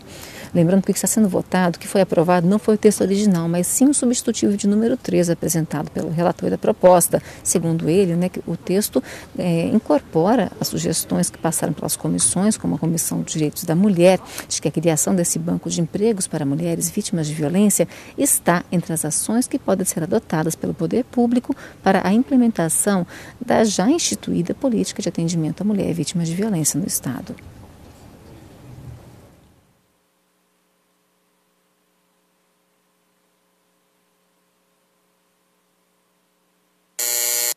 Votaram sim 61 senhoras e senhores deputados, não houve voto não nem em branco, portanto está aprovado o parecer de redação final do projeto de lei número 176 de 2019. Votação do parecer de redação final do projeto de lei número 1739 de 2020. Em votação.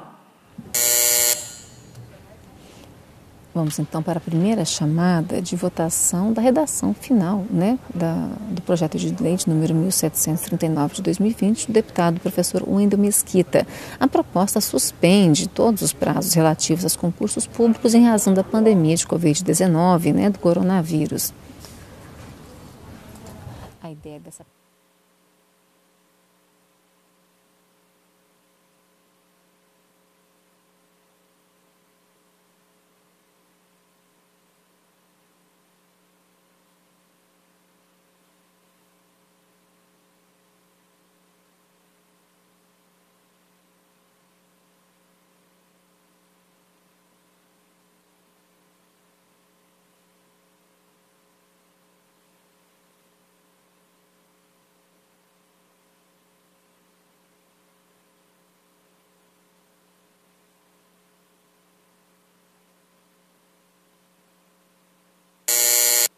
A presidência vai proceder à segunda chamada de votação. Em votação.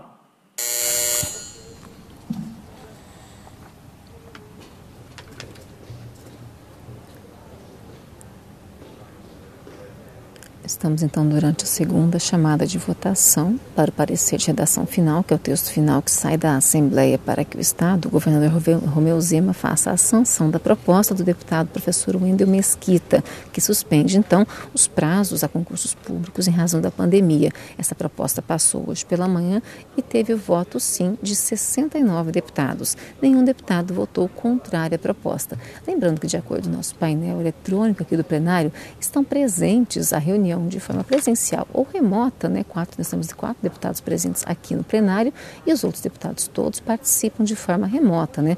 Uma forma que de Assembleia manter as atividades, se manter ativa, votando os projetos mineiros durante esse período de distanciamento social.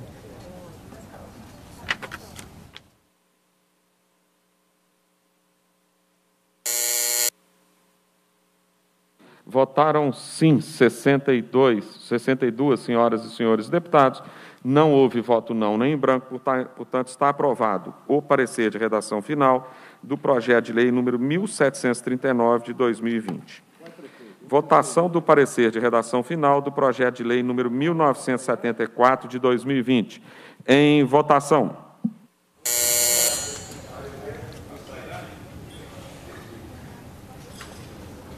Neste momento, então, os deputados fazem a aprovação do texto que vai sair da Assembleia para a sanção do governador sobre o projeto de lei do deputado Charles Santos, que estabelece normas para descarte de máscaras e outros equipamentos de proteção individual, os EPIs, é, no âmbito do estado de Minas Gerais. Segundo o autor, a nova lei que torna obrigatório o uso de máscara em Minas Gerais traz o aumento desse tipo de lixo altamente contaminante, que pode colocar em risco também as pessoas que trabalham com a coleta, triagem de recicláveis e manejo de resíduos sólidos como o meio ambiente.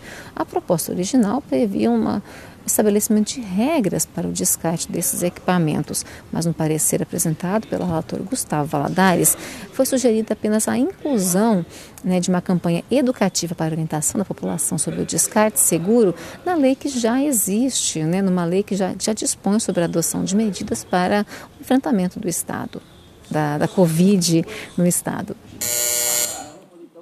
A presidência vai proceder à segunda chamada de votação. Em votação.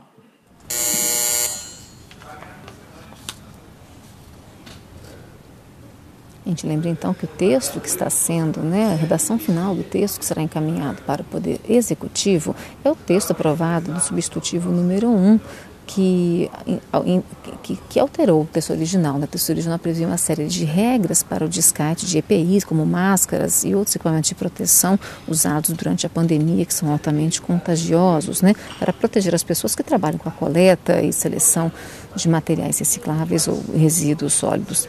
É, então, o parecer do relator levou em consideração que a a competência municipal, essa competência né, para essa disponibilização é municipal.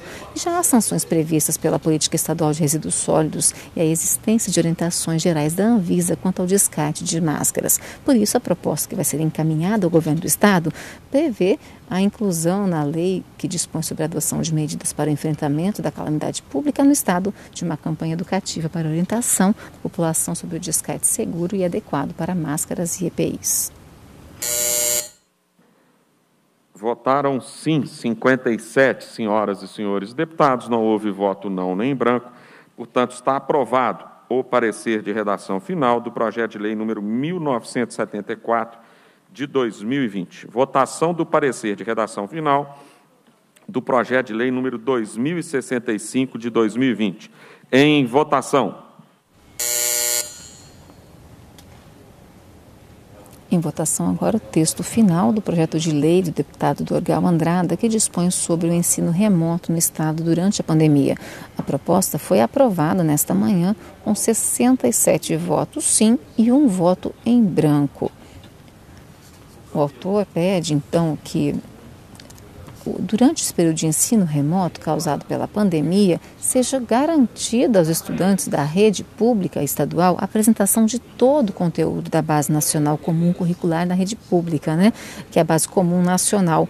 Porque a preocupação do deputado é que os, deputados, os estudantes que vão participar de processos seletivos para ingresso no ensino técnico, Exame Nacional de Curso, do, Exame Nacional do Ensino Médio, e vestibulares em geral, né, para que eles tenham tido todo o conteúdo previsto para o ano para ter condições de prestar essas seleções.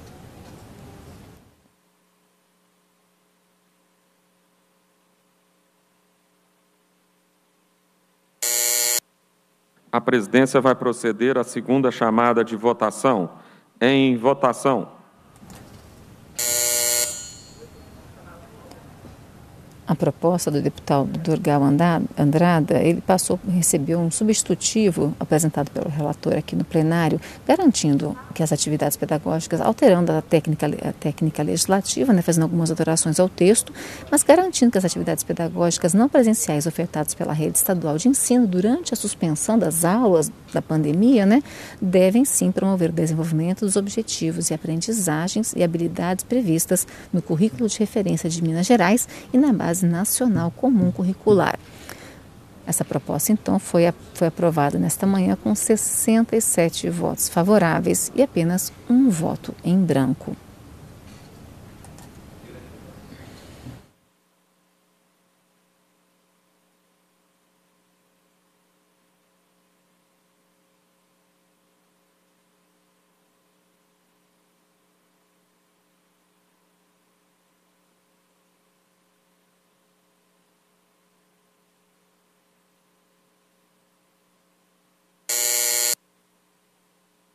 Votaram sim 56 senhoras e senhores, senhores deputados, não houve voto não nem em branco, portanto, está aprovado o parecer de redação final do projeto de lei número 2065 de 2020. Votação do parecer de redação final do projeto de lei número 2081 de 2020. Em votação.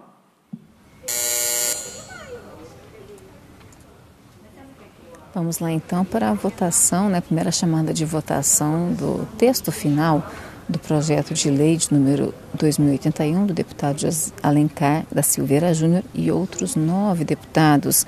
Esse projeto é uma tentativa né, de garantir a manutenção dos empregos. Né? A proposta pede linhas de crédito especiais, facilitação na linha de crédito em decorrência da, da pandemia, né? dessa crise econômica que as empresas mineiras, empresas e microempresas passam no Estado em decorrência do fechamento né? de, de comércio para a contenção da pandemia. A proposta foi apresentada e aprovada na forma de um substitutivo que oferece, né, entre as medidas apresentadas, eh, condições especiais em linhas de crédito para microempresas, empresas de pequeno porte, empresas de grande e médio porte, atividades de entre as atividades comércio, indústria e prestação de serviço. A presidência vai proceder à segunda chamada de votação. Em votação.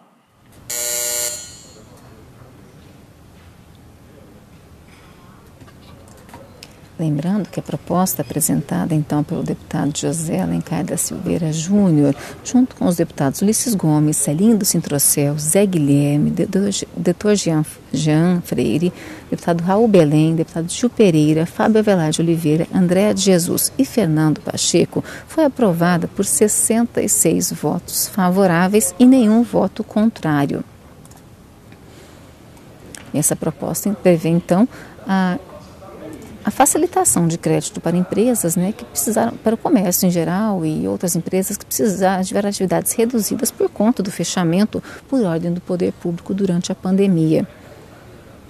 E além das empresas que a gente já havia citado na primeira parte, na primeira chamada de votação, estão relacionadas ainda a instituições privadas de ensino, concessionárias de transporte coletivo municipal, intermunicipal, é, microempresas de produção artesanal, micro e pequenos empresários rurais e cooperativas de produção rural, indústrias que assumam o compromisso de adaptar suas plantas industriais. Eh, votaram sim 57 senhoras e senhores deputados, não houve voto não nem branco. Portanto, está aprovado o parecer de redação final do projeto de lei número 2081 de 2020. Passamos agora às declarações de voto. Com a palavra para a declaração de voto, pelo prazo de dois minutos, deputado André Quintão. Bom dia, presidente Agostinho Patrus, bom dia os relatores, Cássio Soares, Gustavo Valadares, Gustavo Santana, demais deputados e, e deputadas. Nós, nesta manhã, concluímos mais uma etapa importante de votações nesse semestre legislativo de projetos relacionados à Covid. Eu não tenho nenhuma dúvida de que a Assembleia de Minas Gerais é a que mais produziu do ponto de vista legislativo nesse período. Temos dezenas de legislações importantíssimas, inclusive uma grande lei de enfrentamento à pandemia e seus efeitos, a Lei 23.631, que está sendo é, aperfeiçoada a cada semana por novos projetos.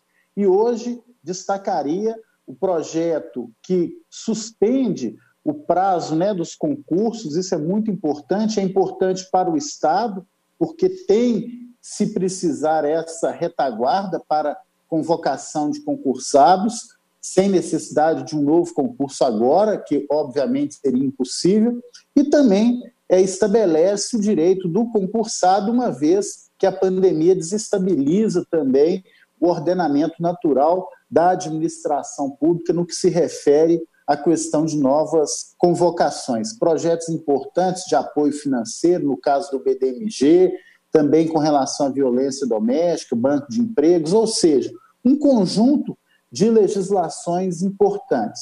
Eu destacaria isso porque é fundamental que agora o governo de Minas, além da preocupação sanitária, epidemiológica, que é a principal nesse momento, óbvio, mas que ele também exerça e cumpra efetivamente a, a, as legislações aprovadas pela Assembleia. A questão do auxílio emergencial financeiro ainda está muito tímido em nosso Estado, o apoio às comunidades tradicionais, entre tantas outras áreas. Então, eu concluo, presidente, destacando o trabalho da Assembleia Legislativa, coordenado por Vossa Excelência, e um abraço muito especial a todos os servidores e servidoras, funcionários, funcionárias da Assembleia Legislativa. Sem eles, não teríamos condição de apresentar ao Estado e ao país uma produção legislativa de tão boa qualidade. É essa a minha palavra. Um grande abraço. Muito obrigado, deputado André Quintão. Passamos a palavra agora à deputada Ana Paula Siqueira. Com a palavra para a sua declaração de voto, pelo prazo de dois minutos, deputada Ana Paula Siqueira. Bom dia, presidente. Bom dia, colegas deputadas, colegas deputados. Bom dia, equipe de assessoria da Assembleia Legislativa de Minas e todo o povo mineiro que nos acompanha. Eu quero dizer, fazer minha declaração de voto, dizendo que votei sim a todos os projetos do dia, considerei todos relevantes, mas quero destacar aqui o PL da minha autoria, o que cria o Banco de Emprego para mulheres vítimas de violência doméstica, dizer que considero um projeto extremamente importante e necessário na nossa sociedade. Quero parabenizar aqui o relator, deputado Cássio Soares, pelo consistente embasamento do, do parecer e quero destacar aqui uma parte dele. Né? Estamos convencidos de que o fenômeno da violência contra a mulher desafia os poderes do Estado a incrementarem continuamente a sua atuação. Então, destacando né, que a autonomia econômica das mulheres são fundamentais para o rompimento do ciclo de violência doméstica. Extremamente importante. É, destacar aqui também na figura do deputado Cristiano da Silveira, autor do projeto de lei que originou a lei que institui a política para mulheres vítimas de violência. Uma saudação ao Bloco Democracia e Luta, que me acompanha e fortalece nas discussões que considero importante. Dizer da importância da comissão é, em defesa dos direitos das mulheres aí da Assembleia, que também deu um parecer favorável a esse projeto. Agradecer a cada deputada e a cada deputado pelo voto favorável, que registram com isso, com esse voto, o compromisso da Assembleia Legislativa de Minas Gerais para com as políticas públicas, especialmente para aquelas pessoas mais vulneráveis. Esse voto, sim, ele faz valer o voto de cada mineira e de cada mineiro que confia em nós a defesa das políticas públicas.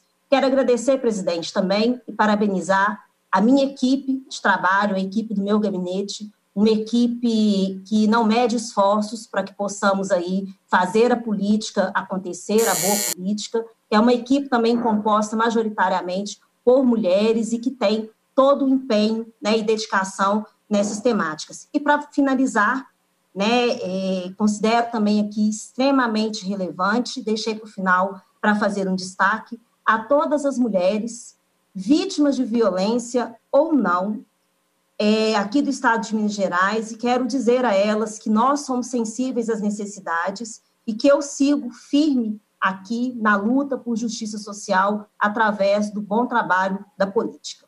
Um abraço a todos, bom dia, sigamos os nossos trabalhos. Muito obrigado, deputada Ana Paula Siqueira. Passaremos agora a palavra à deputada Andréia de Jesus, que terá o prazo de dois minutos para a sua declaração de voto. Com a palavra, a deputada Andréia de Jesus. Bom dia, presidente. Bom dia, deputados e deputadas. Bom dia aqueles que nos assistem. É, aos relatores aí presentes, quero também parabenizar. Então, a minha declaração de voto, talvez vou concentrar um pouco mais no PL que nós apresentamos de forma, como eu fui coautora, que, que visa, inclusive, a, ter, a, a, ficar atenta ao cenário de crise, tanto ao cenário de crise prolongada a nível sanitário, a crise política, econômica e a insegurança jurídica, porque o direito, a economia e a política caminham junto, é de, de apostar em outras formas de fomento para a economia. Né? Só dizer que o Estado está quebrado não é, não, não, é prática de gestão e muito, mais, muito menos compromisso com os mineiros. Então, o que nós fizemos nesse esforço coletivo, e quero agradecer a todos que votaram é, positivamente no nosso PL, é garantir que, evocar muito melhor a palavra, que o BDMG, né, o Banco de Desenvolvimento de Minas Gerais, seja também sensível e altere as diretrizes para ah, fazer a revisão do desenvolvimento, pensando nos pequenos, nas iniciativas criativas, na economia feminista, na economia popular, para que, de fato, a gente tenha condições de diminuir esse impacto é, causado pelo Covid-19 nesses diversos campos que eu já mencionei, né? É, fazer reconvenção é um instrumento importante para que empresas e é, é, pequenos empreendimentos, mas também toda a cadeia produtiva no campo cultural possa, nesse momento, ser beneficiado pelo banco, mas também que é, é, abram outros postos de trabalho e mantenham os empregos que já têm. Né? Eu quero reforçar isso, porque a reconvenção ela pode é, é, garantir que as empresas produzam é, medicamentos, equipamentos de proteção, as máscaras, o álcool em gel. A gente já viu iniciativas de empresa fazendo isso, e o objetivo desse PL é fomentar ainda mais essa atuação, especialmente relacionada ao setor de saúde. Mas eu quero reforçar aqui que essas medidas são fundamentais para aumentar a receita do Estado, liberar refluxo de caixa do município, proteger e fomentar a economia mineira e garantir a proteção dos trabalhadores e das trabalhadoras. É a razão porque eu me somei aos colegas coautores desse projeto para, de fato, a gente combater a pobreza, os fatores que marginalizam além de promover essa integração social com essas várias outras formas de economia que têm surgido, e é muito importante porque, de fato, o governador, é, ele ouve muito bem a Federação de Indústria, mas os movimentos sociais, as organizações, lideranças sociais, elas têm escrito um plano de recuperação de economia popular. Né? É dessa fonte que eu bebo e, e que me orientou nessa construção coletiva apontei algumas medidas de, de, curto prazo, mas eu trago outras medidas de longo prazo. E gostaria de deixar aqui que é importante a gente ampliar alternativas de trabalho e renda, contratando trabalhadores direto, de associações, de cooperativas, de economia popular e feminista, nas obras de saneamento, por exemplo, na reparação dos danos decorrentes da chuva de 2020, né? reparação e melhoria na habitação, de equipamentos populares, públicos, nas favelas, na periferia, regeneração de áreas comuns, inclusive reflorestamento, contratação de, de é, contratação para a área de saúde, da área de assistência, são necessidades que, inclusive, darão fôlego para o Estado, não só na arrecadação, mas também fomentando empregos e, e já de imediato agir para reduzir os danos os danos da pandemia, mas dessa crise econômica que não começou com a pandemia, né? Nós temos uma degradação desse modelo econômico que precisa ser renovado. E eu quero também aqui ressaltar a importância do PL, do projeto de lei, estou finalizando, é, é, é, o do projeto de lei da deputada Ana Paula Siqueira, né? Extremamente importante que sensata e sagaz, ela trouxe a proposta de geração de renda, mas também de combate à violência contra as mulheres. Essas são as minhas palavras, presidente. Obrigado, deputada Andréia de Jesus. E nesse momento, para a declaração de voto, pelo prazo de dois minutos, deputada Laura Serrano. Bom dia, senhor presidente. Bom dia, colegas deputados. Aos mineiros que nos acompanham pela TV Assembleia, pelo portal, redes sociais. Hoje aprovamos projetos importantes nessa casa. Eu gostaria de destacar o projeto de lei que foi aprovado 2065 de 2020 do deputado Dorgal Andrada, que está relacionado com a temática da educação, que é tão fundamental e tão importante para que a gente tenha as mudanças estruturais necessárias, para que a gente tenha igualdade de oportunidades para as nossas crianças mineiras, independente de classe social. Esse projeto que aprovamos hoje nessa casa, com o apoio de vários deputados, ele prevê que o REAMP, o Regime de Estudos e Atividades Não Presenciais do Governo de Minas, ele deve atender aos preceitos, às diretrizes da BNCC, da Base Nacional Comum Curricular, e do currículo de referência de Minas Gerais. Então, esses, esses pontos são muito importantes para garantir que as crianças mineiras, os jovens mineiros, tenham acesso a esse conteúdo mínimo é, da educação básica, de forma a garantir igualdade de oportunidades para todos, mesmo durante esse período de pandemia e a necessidade da educação feita de forma remota.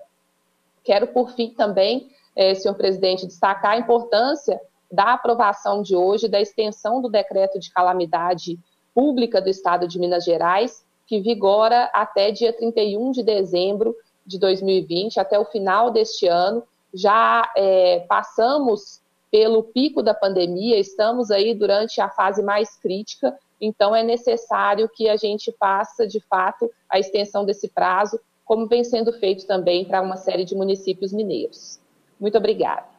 Obrigado, deputada Laura Serrano. Nesse momento, com a palavra, por dois minutos para a declaração de voto, deputado professor Wendel Mesquita. É, bom dia, presidente, deputado Tadeu. Bom dia a todos os deputados e deputadas da Assembleia Legislativa de Minas Gerais. Eu quero aqui parabenizar todos os deputados, toda a casa, pelo intenso trabalho que está sendo realizado. Hoje, nessa sexta-feira, mais um dia importante para Minas Gerais, com a aprovação de muitos projetos tão fundamentais para esse processo legislativo que a gente vive nesse período de pandemia. E, então, eu parabenizo aí todos os deputados, deputadas que apresentaram é, importantes projetos que realmente vão mudar aí a história e vão mudar o rumo do momento que a gente vive. E quero aqui destacar, presidente, o projeto de minha autoria, o 1739, que era um projeto importante, a gente via as categorias pedindo essa aprovação, e agradeço todos os deputados pela sensibilidade de aprovarem hoje o projeto 1739, que suspende os prazos de concurso. A gente tinha muitas categorias que o concurso estava vencendo agora nesse período de pandemia e ficariam prejudicados se essa legislação não fosse aprovada. Diante dessa aprovação, com a sanção do governador, a gente vai ter aí a possibilidade de esses concursados né, continuarem com a possibilidade de ingressarem no quadro do Estado e aqueles concursos também que estavam ativos né, e terminariam a, a sua data também nesse período, vão estender pós-pandemia, que agora, aí com o projeto aprovado hoje, vai até 31 de dezembro. Então, agradeço a todos os deputados, as categorias já vinham pedindo é, essa aprovação, e esse projeto com substitutivo, agradeço e parabenizo o relator, nosso líder do bloco aí, Gustavo Valadares, como sempre aí, fez um substitutivo incrementando e trazendo esse conceito importante para o projeto, junto com os outros deputados também, como a deputada Beatriz Cerqueira, que apresentou um projeto similar e que foi anexado ao projeto 1739. E, por fim, quero aqui agradecer aí a diretoria, a mesa diretora da Assembleia, pelos trabalhos, pela atividade e pela discussão que aconteceu nessa semana sobre dando voz, eh, presidente, aos sindicatos, aos movimentos organizados com relação à reforma da Previdência. E essa extensão para agosto foi muito prudente e muito importante para a gente ganhar um tempo para ampliar esse canal de discussão. Um grande abraço a todos os deputados e obrigado, presidente. Obrigado e parabéns deputado professor Wendel. Com a palavra nesse momento, pelo prazo de dois minutos para a declaração de voto, deputada Beatriz Cerqueira. Presidente, bom dia. Bom dia aos colegas parlamentares. É, eu quero dizer, presidente, da importância da votação é, do projeto de lei que faz a suspensão do prazo de validade dos concursos. É, concurso público fortalece o serviço público, concurso público fortalece a previdência própria, acabamos de ter um seminário virtual a respeito disso é claro e notório que no caso do judiciário existe uma defasagem de pessoal é, efetivo e por isso é, existe um edital, que é o edital 01 de 2017, que precisava muito da aprovação é, de um projeto de lei que fizesse essa suspensão. Por isso, em parceria com o Serjusmig, nós construímos e apresentamos o projeto de lei 2022, que foi anexado ao projeto que foi votado, é, e a sua aprovação ela é muito relevante, porque é impossível a situação de nomeação de concurso público durante uma pandemia. Então, a sua suspensão é, do prazo de validade durante a calamidade, durante a pandemia, foi uma decisão acertada e uma votação acertada. Então, eu deixo meu abraço a toda a direção do Sejusmig, aos servidores efetivos do Judiciário, a comissão dos aprovados em concurso, reforçando o meu compromisso de defesa dos serviços públicos, dos seus servidores e daqueles que querem ser servidores e prestam um concurso público. Eu não tenho dúvida de quando eu defendo o serviço público, eu estou defendendo a população mineira, porque o produto que o Estado tem a entregar ao povo é a prestação do serviço público. E a prestação de um serviço público de qualidade se faz com condições adequadas de trabalho, com carreira, com salários dignos, com previdência que garanta direitos e, sem sombra de dúvidas, políticas de concurso são muito importantes. Então, é, renovando esse meu compromisso, mas fundamentalmente agradecendo a confiança é, da comissão, dos concursados e também da direção do Sejusmig para que nós pudéssemos fazer essa construção que resultou no projeto de lei 2022, anexado ao projeto que foi aprovado, e o resultado, com a sua aprovação, é um resultado positivo para toda a sociedade sociedade mineira. Então, fica aqui a nossa prestação de contas, nossa declaração de voto e o nosso compromisso em defesa dos serviços públicos. Obrigado, deputada Beatriz Cerqueira. Nesse momento terá a palavra o deputado Celinho Sintrocel, por dois minutos para a declaração de voto. Bom dia, presidente Tadeu Martins. Bom dia aos demais deputados presentes. Em minha declaração de voto, presidente, eu quero agradecer os deputados e as deputadas que aprovaram entre outros projetos importantes, o projeto de lei 2081. Esse projeto de lei, do qual sou um dos autores, indica novas diretrizes para que o Banco de Desenvolvimento do Estado de Minas Gerais, o BDMG, tome medidas mais eficazes para combater os impactos econômicos causados pela pandemia de Covid-19 em nosso Estado. Agradeço ao deputado Gustavo Valadares, relator da matéria, que absorveu as propostas que apresentei através dos projetos de lei 1717 e 1716. Com os projetos que apresentei, eu queria alterar a lei 23631 de 2020 para reduzir os prejuízos e os danos que as empresas que tiveram, por exemplo, quando foram obrigadas a suspender suas atividades em função das medidas de isolamento social. Na ocasião, eu propus que o BDMG promovesse linhas de créditos especiais e de toda para todas as empresas e indústrias ligadas a serviços e produtos essenciais à população do Estado. O projeto busca gerar e garantir crédito barato para todas as empresas e possam honrar seus compromissos, rediscutir financiamento, parcelas e prazos, por exemplo. O projeto que aprovamos incorporou grande parte das propostas que eu fiz, junto com sugestões de outros deputados. Aprimoramos muito o texto final, também que me contemplou. Tenho certeza, presidente, que estamos colaborando para a recuperação de muitas e muitas empresas em nosso estado de Minas Gerais e também para que os municípios possam adequar suas contas e que tenham folga e possam investir em políticas públicas. Só com investimentos públicos é que vamos reaquecer a nossa economia mineira, presidente Tadeu. Aprovação desse projeto de lei e a sanção do governador vão criar condições para o BDMG oferecer linhas de créditos em condições especiais, onde poderão ser discutidas contrapartidas sociais, por exemplo, com a manutenção de empregos, que é muito importante para o nosso Estado. A proposta que acabamos de aprovar, presidente, vai impactar positivamente as microempresas e as pequenas e médias, e até mesmo as grandes empresas. Com abrangências que demos à lei aprovada agora, será possível salvar empresas das mais diversas, como comércio, indústria, da prestação de serviço, as escolas privadas, as empresas de ônibus de transporte coletivo de passageiros municipal e intermunicipal e as empresas de artesanato. A proposta vai ajudar também as empresas que quiserem produzir equipamentos médicos. As empresas de todas as partes, de muitas áreas, têm agora onde recorrer e o BDMG tem que socorrer a todas elas. Estou muito satisfeito com a aprovação de nossas propostas, mas tenho alertar e fazer. Para fazer, para além da, de aprovarmos aqui hoje esse projeto e garantir a sanção do governador, é preciso, Tadeu Martins, presidente, que a Assembleia e nós, deputados, acompanhemos a implantação do que aprovamos aqui hoje.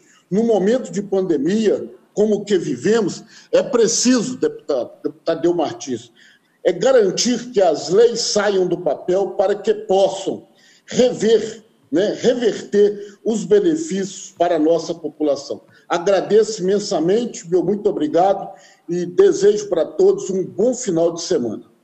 Obrigado, deputado Celim Sintrocel. Nesse momento terá a palavra o deputado doutor Jean Freire, pelo prazo de dois minutos para a declaração de voto.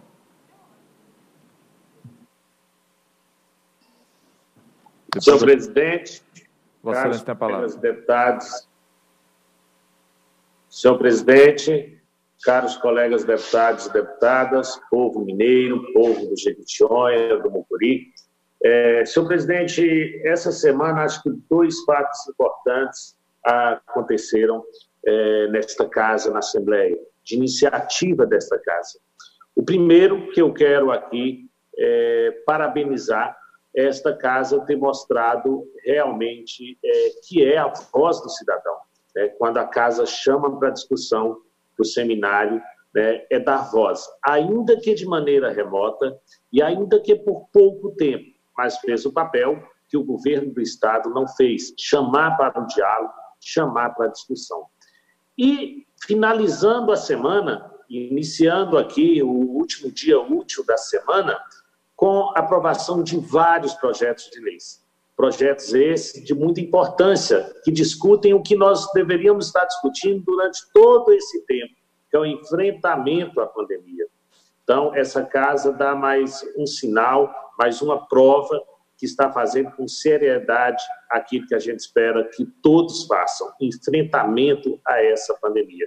Quero agradecer aos deputados e deputadas que votaram no projeto em todos os projetos, todos são de muita relevância, enfrentamento à violência doméstica, a questão da, da do ensino de maneira remota, é, da, da, suspensão dos prazos de concurso, mas um projeto da nossa autoria também, o qual eu sou um dos autores, que é o 2081, que vai propiciar, dentre tantas situações importantes, a salvar empresas, a prefeituras, empresas que coloquem à disposição de fazer mudança da sua planta para a produção de materiais médicos, né, materiais hospitalares para enfrentamento da pandemia.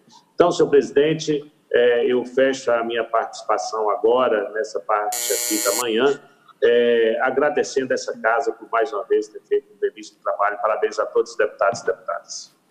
Obrigado, deputado doutor Jean Freire. Nesse momento, terá a palavra o deputado Carlos Pimenta, pelo prazo de dois minutos para a sua declaração de voto. Bom dia, presidente Tadeu. Bom dia aos senhores e senhoras deputadas presentes. É, nós cumprimos aí uma missão muito importante hoje, na votação destes projetos.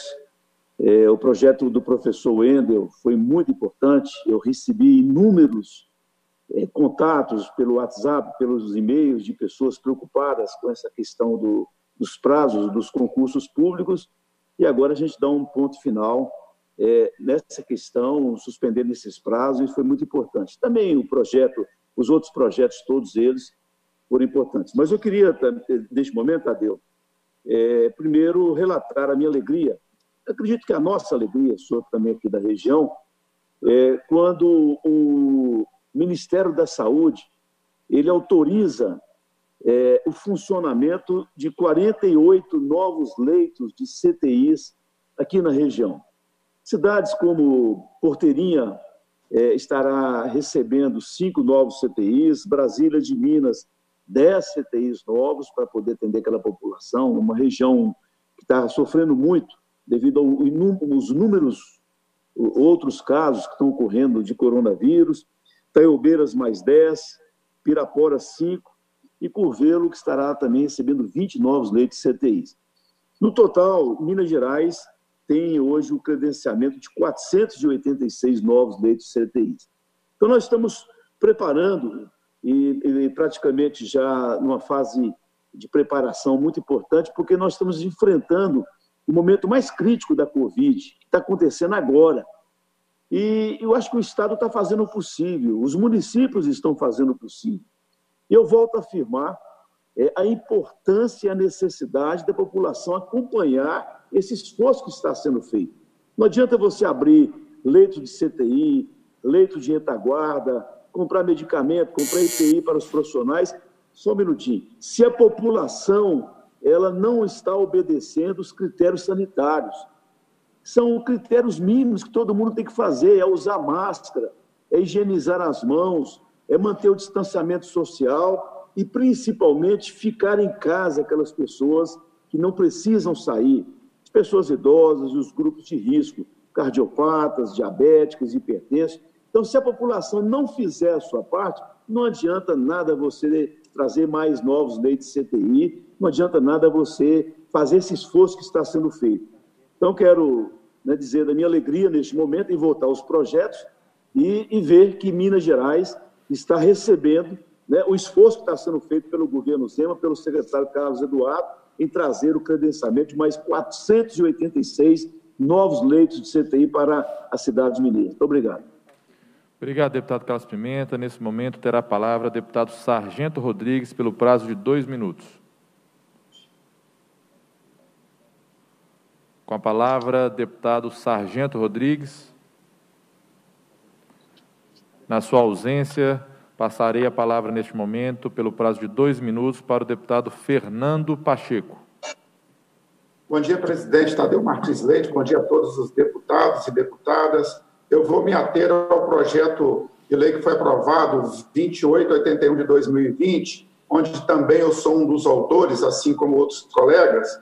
Eu quero exaltar esse projeto que visa trazer um novo modo de poder crescer e desenvolver as indústrias que estão sendo muito afetadas nesse período de pandemia.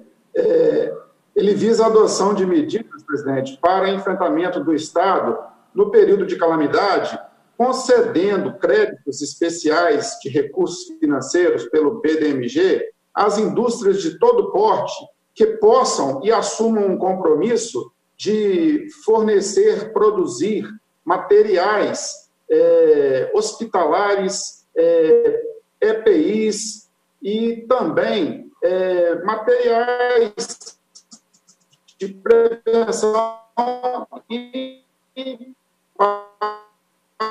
para o tratamento da doença e tantas outras alternativas que possam surgir. É, essa questão ela foi posta de uma maneira onde nós estamos deixando o Estado é, optar pelas diretrizes que ele achar que deve para a retomada do crescimento econômico. E esse projeto é muito importante.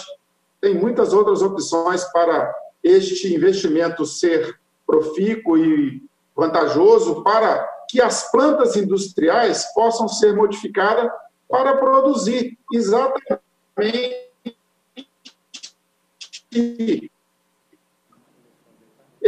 equipamentos médico-hospitalar, EPIs, Quero alertar, para finalizar minha fala, dos altos índices de afetados com a doença. Em Minas Gerais, são mais de 80 mil casos confirmados, com quase 1.800 óbitos, presidente.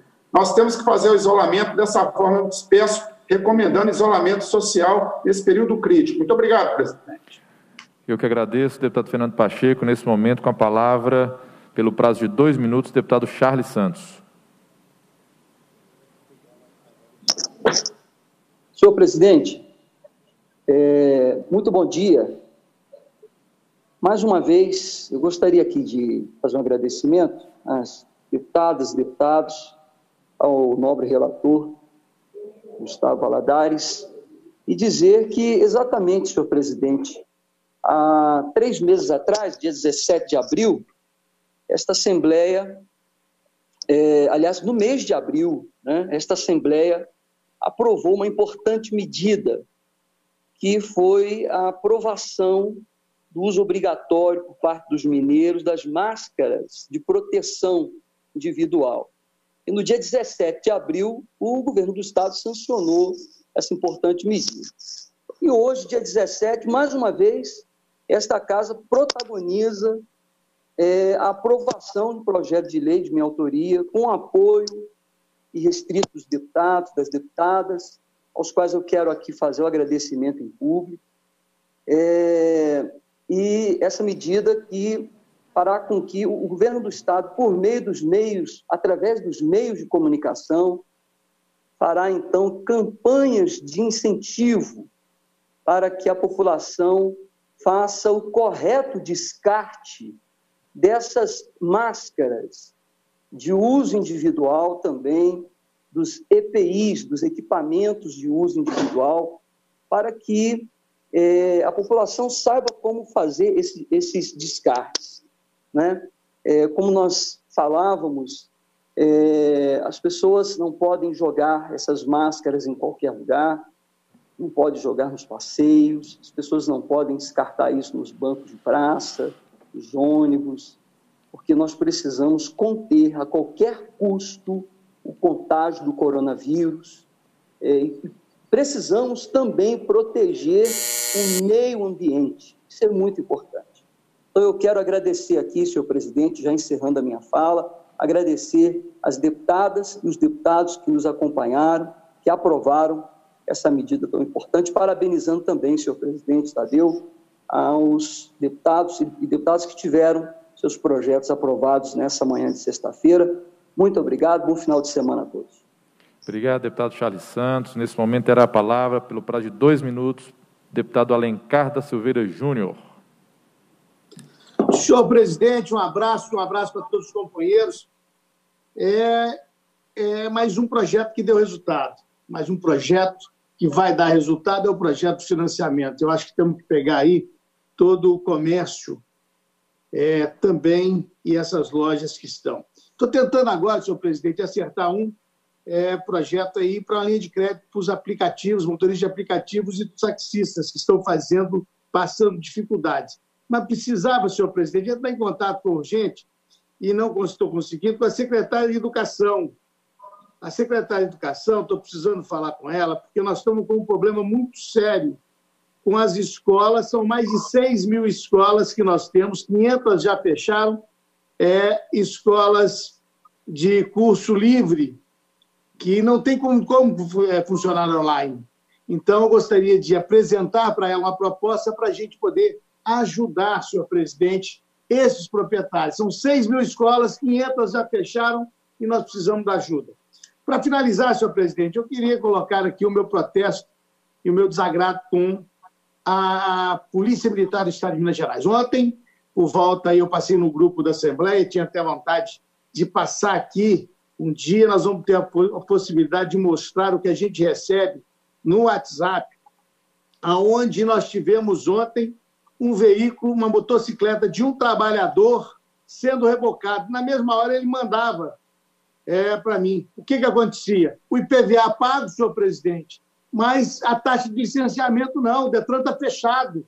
Ele pagou as multas todas, então não emitiu a, a, a, o documento para ele de 2019. E foi apreendido.